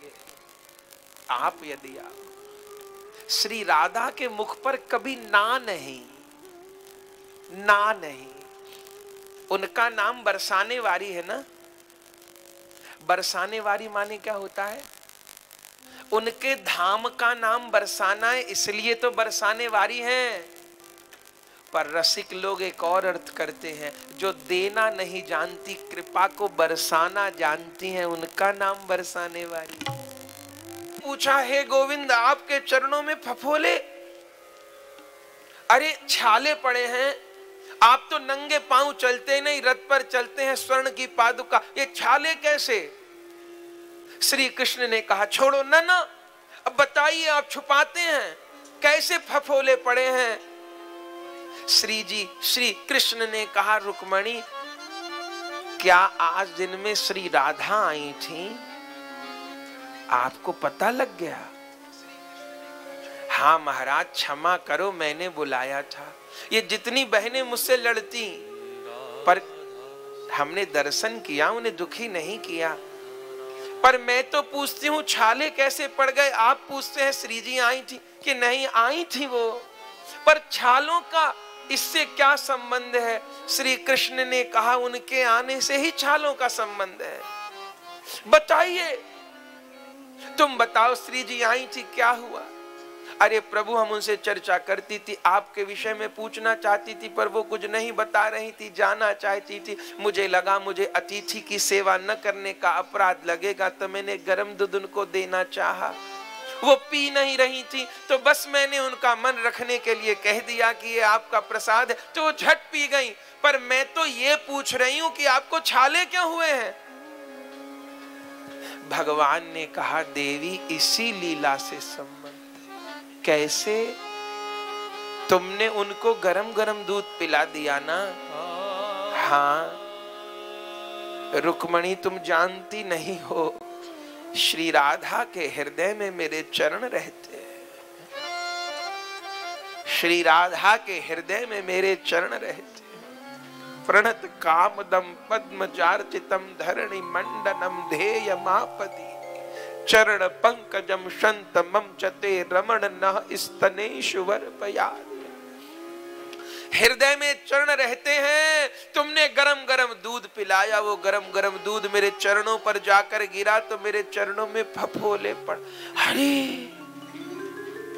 प्रेम ऐसा भी होता है ऐसा भी प्रेम होता है क्या? उनको दूध पिलाए आपके चरणों में, क्योंकि उनके हृदय में अच्छा अब एक बात पूछी तो बताओगे ना? छिपाओगे तो नहीं, रुकमणी से योग्य तो नहीं, पर बताओगे हाँ पूछो। ये तो समझ आ गया कि श्री राधा के चरणों, हृदय में आपके चरण रहते हैं। अब ये भी बता दो कि आपके हृदय में किसके चरण रहते हैं? रुकमणी झूठ न बोलूँगा, मेरे हृदय में श्री राधा के चरण रहते धन धन राधिका के चरण। सुभग शीतल अति सुकोमल कमल के से बरन। नंद सुत मन मोदकारी बिरह सागर तरन दास परमानंद छिन छिन श्याम जिनकी शरण। धन धन राधिका के चरण रुक्मणी जी को अनुमान हुआ था उस प्रेम की ऊंचाई का। पर इस बात का संबंध मीरा जी के चरित्र से क्या है? बंधुओं, इस लीला में माधवी सम्मिलित थी। जिस समय रुक्मणी जी के शिविर में आई और रुक्मणी जी इत्यादि रानियों को देखा तो अभी तक उनका भगवान के साथ कोई संबंध तो नहीं है ना? क्योंकि लीला में प्रवेश नहीं है। जब रुक्मणी इत्यादि रानियों को देखा तो एक बार को मन में विचार आया, यदि मैं भी भगवान की रानी होती, मैं भी भगवान की पत्नी होती तो मुझे भी श्री कृष्ण का नित्य संयोग मिलता। महलों में रहती, वियोग न होता। ये भाव मन के भीतर आया। और फिर माधवी चली गई, मन का भाव मन में रह गया। और फिर इस लीला के कुछ दिन बाद फिर तो कुरुक्षेत्र से भगवान एक रूप से ब्रज पधारे। द्वारिका लीला, द्वारिका में अंतर ध्यान हुई, प्रभाषक क्षेत्र में। पर ब्रज लीला ब्रज में अंतर ध्यान हुई। कुरुक्षेत्र मिलन के बाद भगवान ब्रज पधारे, फिर श्री जी के साथ विवाह हुआ और फिर पूरे परिकर को लेकर के भांडीर वन में भगवान अंतर ध्यान हुए। श्री राधा रानी का चरित्र जब होता है तो ये विषय उसमें अच्छे से आता है। ब्रज लीला ब्रज में ही अंतर ध्यान हुई है, द्वारिका जी में नहीं, द्वारिका लीला द्वार भगवान अनंत रूप रूप आए हैं ठाकुर जी लौटे हैं राधा रानी के साथ विवाह तो मथुरा जाने से पूर्व हो गया था, भांडीर वन में विवाह हुआ, पर गौना लौटने के बाद हुआ। और फिर भांडीर वन में सब लीला अंतर्धान हुई थी। जब लीला अंतर ध्यान हुई तो माधवी भी अंतर ध्यान हुई, लेकिन ये माधवी वाला शरीर छुटने से पहले माधवी के हृदय में श्री कृष्ण की पत्नी बनने का विचार आया। इसलिए मीराबाई जी का भगवान के प्रति पति भाव। उन्होंने पति भाव से क्यों भजा? और अंततः उनको वृंदावन बिहारी नहीं, द्वारिकाधीश की प्राप्ति क्यों हुई? और द्वारिकाधीश के स्वरूप में ही मीराबाई जी विलय क्यों हुई? देखो बंधुओं, हमारे शास्त्र कहते हैं, इस जन्म में हमारा जो भाव होता है, उसी भाव के अनुसार हमको अगला जन्म मिलता है। उसी भाव के अनुसार हमको सिद्धि प्राप्त होती है। इस देह में जो भाव सिद्ध होगा, वही शरीर छूटने के बाद भाव और सिद्धि की प्राप्ति होगी। तो बंधुओं, यही माधवी कलयुग में विक्रमी संवत पंद्रह सो इकसठ। राजपूत राठौड़ वंश। क्षत्रिय मीराबाई जी के दादा राव दूदा जी महाराज, जिनका सारा जीवन मुगलों से लोहा लेते बीता था। उन राव दूदा जी की तलवार सवा मन की थी। उन राव दूदा जी ने अपने जीवन में बहुत युद्ध लड़े थे। उनका सारा शरीर मुगलों के साथ युद्ध करते में घावों से भरा हुआ था। पर बड़ाई क्या है? मीराबाई जी के दादा जितने बड़े शूरवीर थे, जितने बड़े योद्धा थे, उतने बड़े भगवत भक्त भी थे। आज भी आप मेड़ता में जाइए। मेड़ता में चार भुजानाथ का मंदिर है। वो चार भुजानाथ किसके सेवित हैं? और मीराबाई जी के पीहर के ठाकुर जी हैं। मीराबाई जी के दादा के ठाकुर जी हैं। चार भुजान, अद्भुत मंदिर है। राव दूदाजी महाराज, क्षत्रिय शिरोमणि, पंद्रह सो बावन में उनके अधिकार में मेड़ता दोबारा आ गया। पहले बाबर की सेना का राज था वहाँ पर, लेकिन राव दूदाजी ने सबको पछाड़ दिया। देखिए आज के समय में राजपूतों का इतिहास वहाँ से पढ़ाया जाता है जहाँ से राजपूत हारने लगे। पर वो भी वृतांत कम नहीं है जहाँ राजपूतों ने छक्के छुड़ा दिए मुगलों के। उनको दौड़ा दौड़ा के मारा कितनी बार बाबर को भगा दिया से, सीमा से। वो कोई कम वृतांत नहीं है। लेकिन भारत का इतिहास वामपंथी लोगों ने लिखा।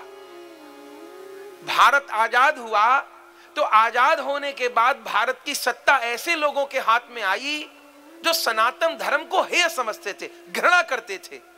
उन्होंने इतिहास वामपंथियों से लिखवाया। वो वामपंथी जो घृणा करते थे सनातन धर्म से, उन्होंने खूब मनमर्जी की। उन्होंने बताया, बाबर महान था, हुमायूं महान था, अकबर महान था। वो शिवाजी की कथा लिखना भूल गए। उन्होंने महाराणा प्रताप के लिए एक शब्द नहीं लिखा।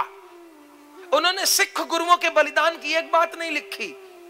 उन्होंने राणा सांगा ने, जिसने एक भाले से हज़ारों मुगलों का वध किया था, उनकी बात नहीं लिखी। राणा कुंभा की बात नहीं लिखी। भारत का बहुत उज्जवल इतिहास है। वो इतिहास छुपाया गया। हम लोग अपने पूर्वजों के बारे में नहीं जानते। भक्तमाल जी की कथा इस पक्ष में भी बहुत महत्वपूर्ण है। इससे हमें भारत का इतिहास पता चलता है। मीराबाई जी के चरित्र में शूरवीरों का प्रसंग भी खूब आता है, क्योंकि वो शूरवीरों के पैदा हुई और शूरवीरों के ब्याही गई। राणा सांगा मीरा जी के ससुर थे। भोज उनके शरीर के पति थे महान योद्धा। बाबर को सबसे बड़ी टक्कर देने वाले राणा सांगा थे, जिन्होंने दो लाख राजपूत लेके बाबर से लड़ाई की थी, जिसको खानवा का युद्ध कहते। पानीपत की लड़ाई हुई, फिर बाद में हल्दी घाटी की लड़ाई हुई।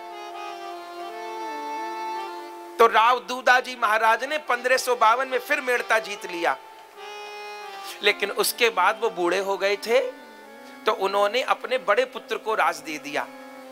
राव दूदाजी के पाँच पुत्र थे। नाम ध्यान रखिएगा, आगे की कथा में काम आएँगे। बड़े पुत्र थे वीरम देव जी।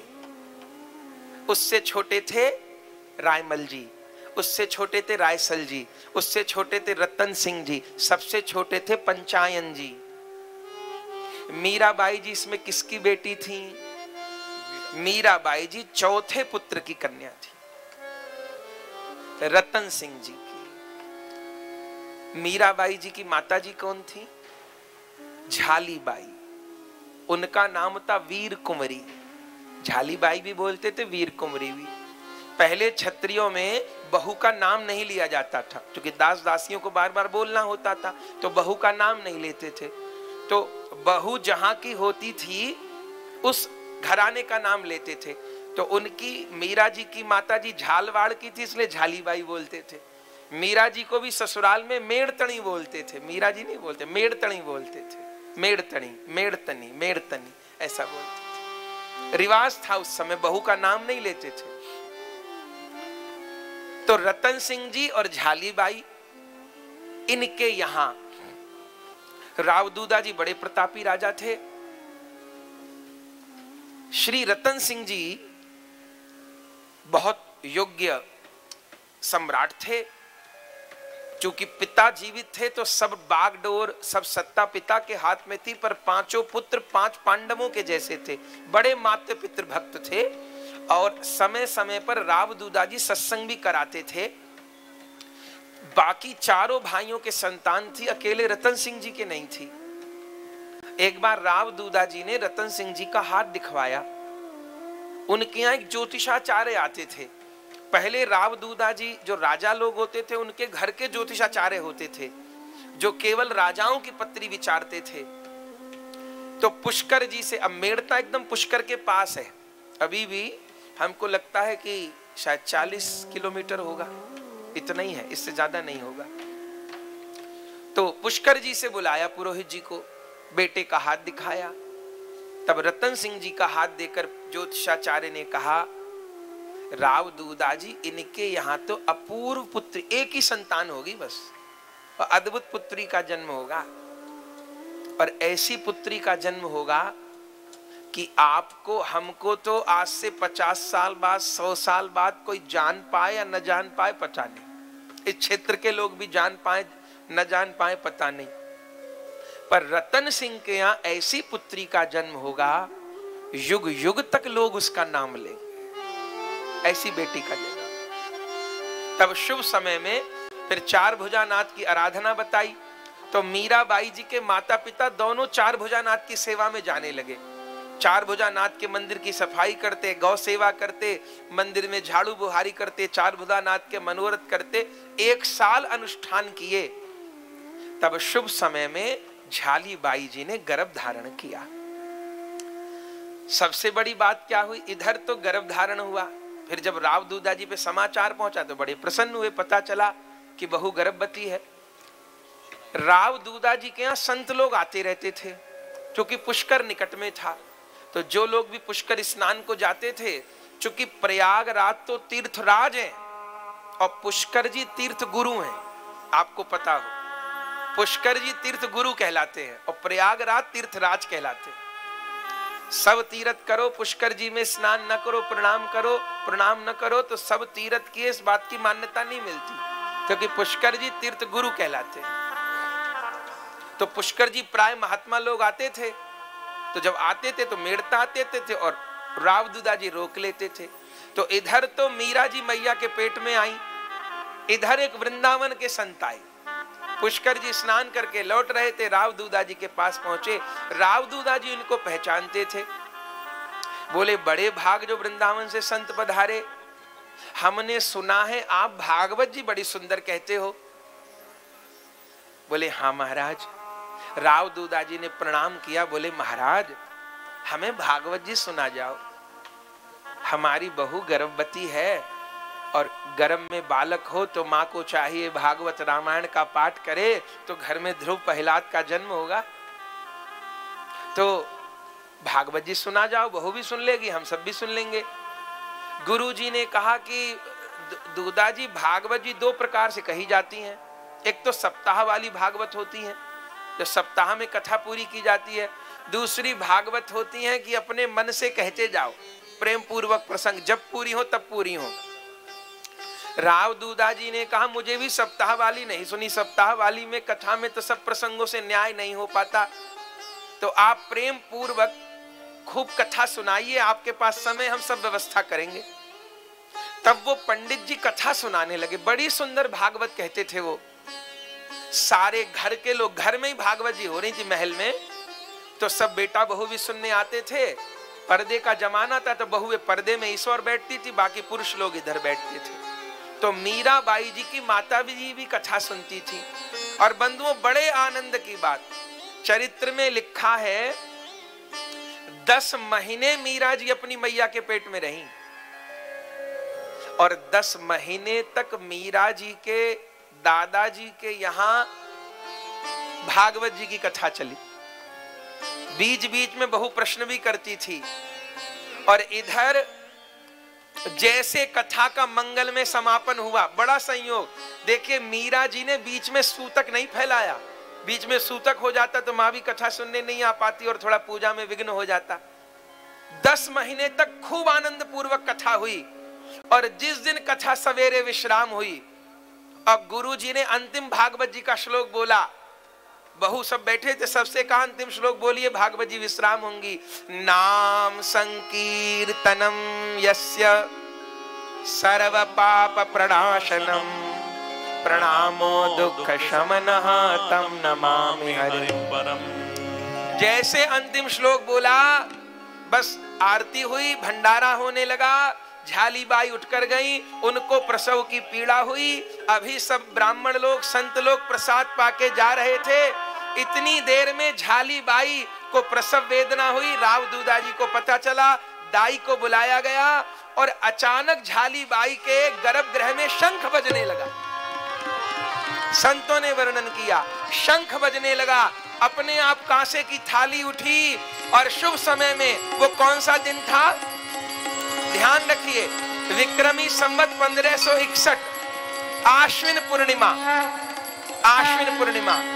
आश्विन की पूर्णिमा को क्या हुआ आप जानते हैं? जो रास की पूर्णिमा होती है, शरद पूर्णिमा, उसी को आश्विन पूर्णिमा कहती है। और बढ़िया बात है, ठाकुर जी की गोपी को अवतार लेना है तो रास लीला के दिन अवतार लिया। आश्विन की पूर्णिमा को शंख बजने लगा और जैसे शंख बजा जय जयकार हुई उसी समय अपनी मैया के गर्भ सिंधु से श्री मीरा बाई जी ने। प्रेम से कहिए, श्री मीरा बाई जी की जय हो पिता श्री रतन सिंह जी महाराज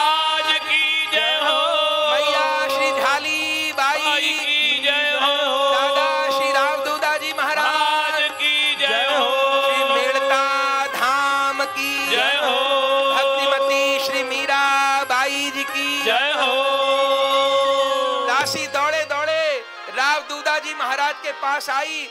जैसे राव दूदा जी को पता चला, मेड़ता में बधाई गाने जाने लगी। किले के ऊपर से तोप छूटी। श्री राव दूदा जी मोहरे बरसाने लगे और सबने बधाई गाई। हम सब लोग भी बधाई गाएँगे, तब कथा को विश्राम देंगे। मीराबाई जी का जन्मोत्सव मनने लगा। सबने प्रेम से गाया।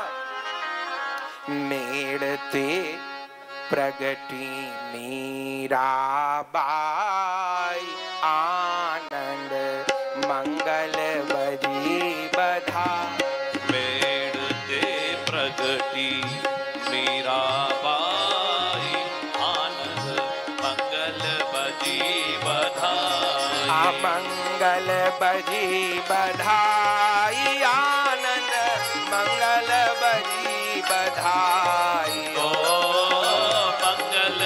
बजी बधाई। आनंद। मंगल बजी बधाई। आनंद। मंगल बजी बधाई। आई आनंद। मंगल बजी बधाई।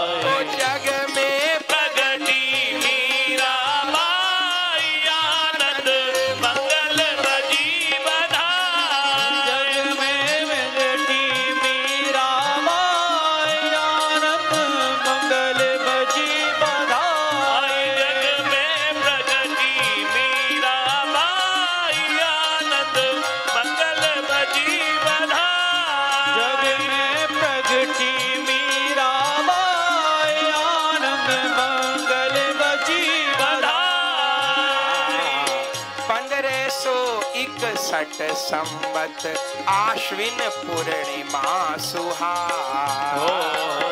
पंद्रह सौ इकसठ संबत आश्विन पूर्णिमा सुहा पंद्रह सो इकसठ संवत आश्विन पूर्णिमा सुहा पंद्रह सौ इकसठ संपत आश्विन पूर्णिमा सुहा द्वापर युग की ब्रज की गोपी मीरा बन के आई। द्वापर युग की ब्रज की गोपी मीरा बन के आए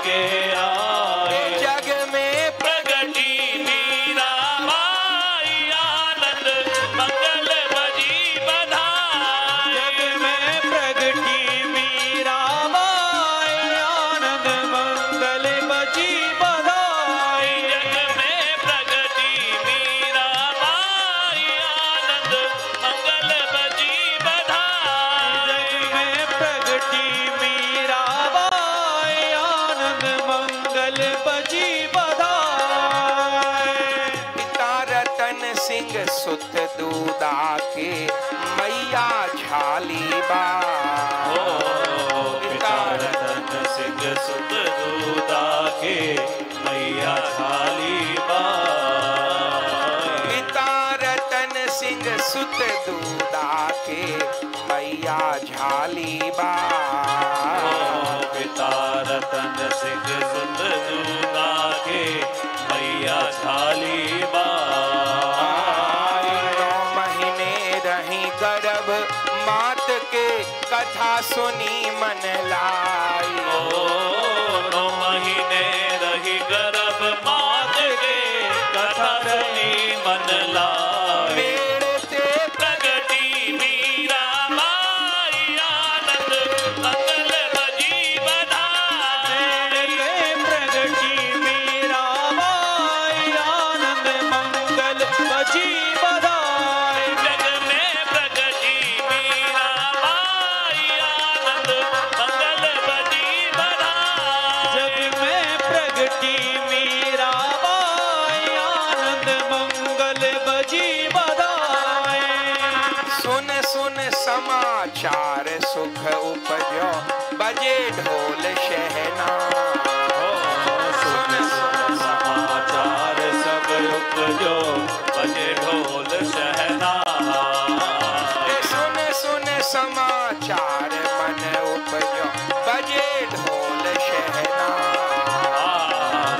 सुन समाचार सब उपजो बजे ढोल सकल जगत को पावन करने प्रेम की गंगा आई ओ सकल जगत को पावन करने प्रेम की गंगा आई। हाँ, सकल जगत को पावन करने प्रेम की गंगा आई ओ सकल जगत को पावन करने प्रेम की गंगा।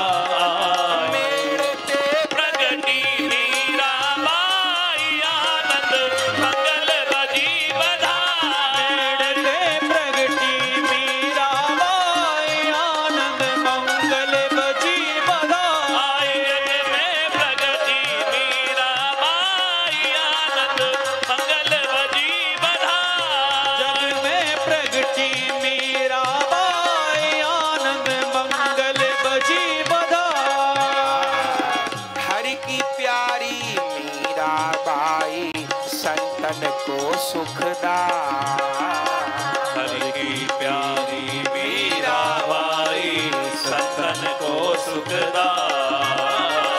गौरदास श्री चरण कमल पर बार बार बलि ओ गौरदास श्री चरण कमल पर बार बार बलिहाई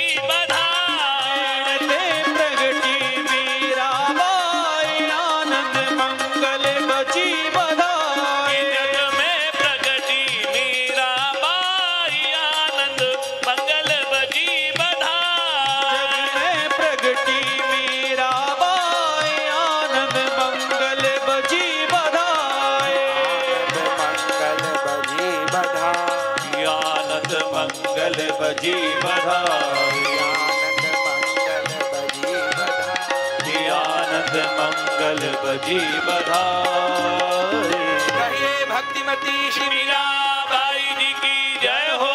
आपके प्राकट्य महोत्सव की जय हो। ऐसे बंधुओं आज अत्यंत आनंद पूर्वक श्री मीराबाई जी के पूर्व जन्म की और श्री मीराबाई जी के प्राकट्य की कथा को सुना। अब कल से आगे मीरा जी के पावन चरित्र को हम लोग सुनेंगे। अभी आरती का दर्शन कीजिएगा और प्रेम से कहिएगा जय जय। श्री राधे मीरा के गोपाल जी भजो राधे गोविंदा।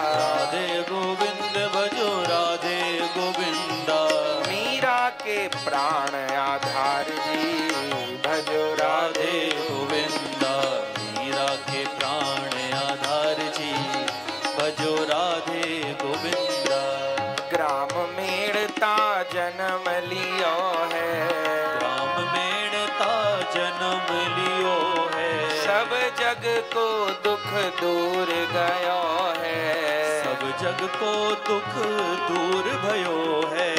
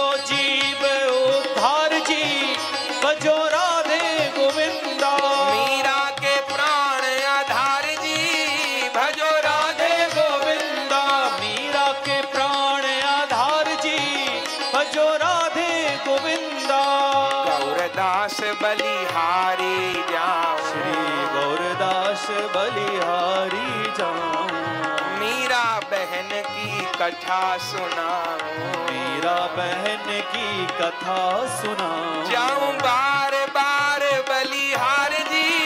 भजो राधे गोविंदा जाऊँ बार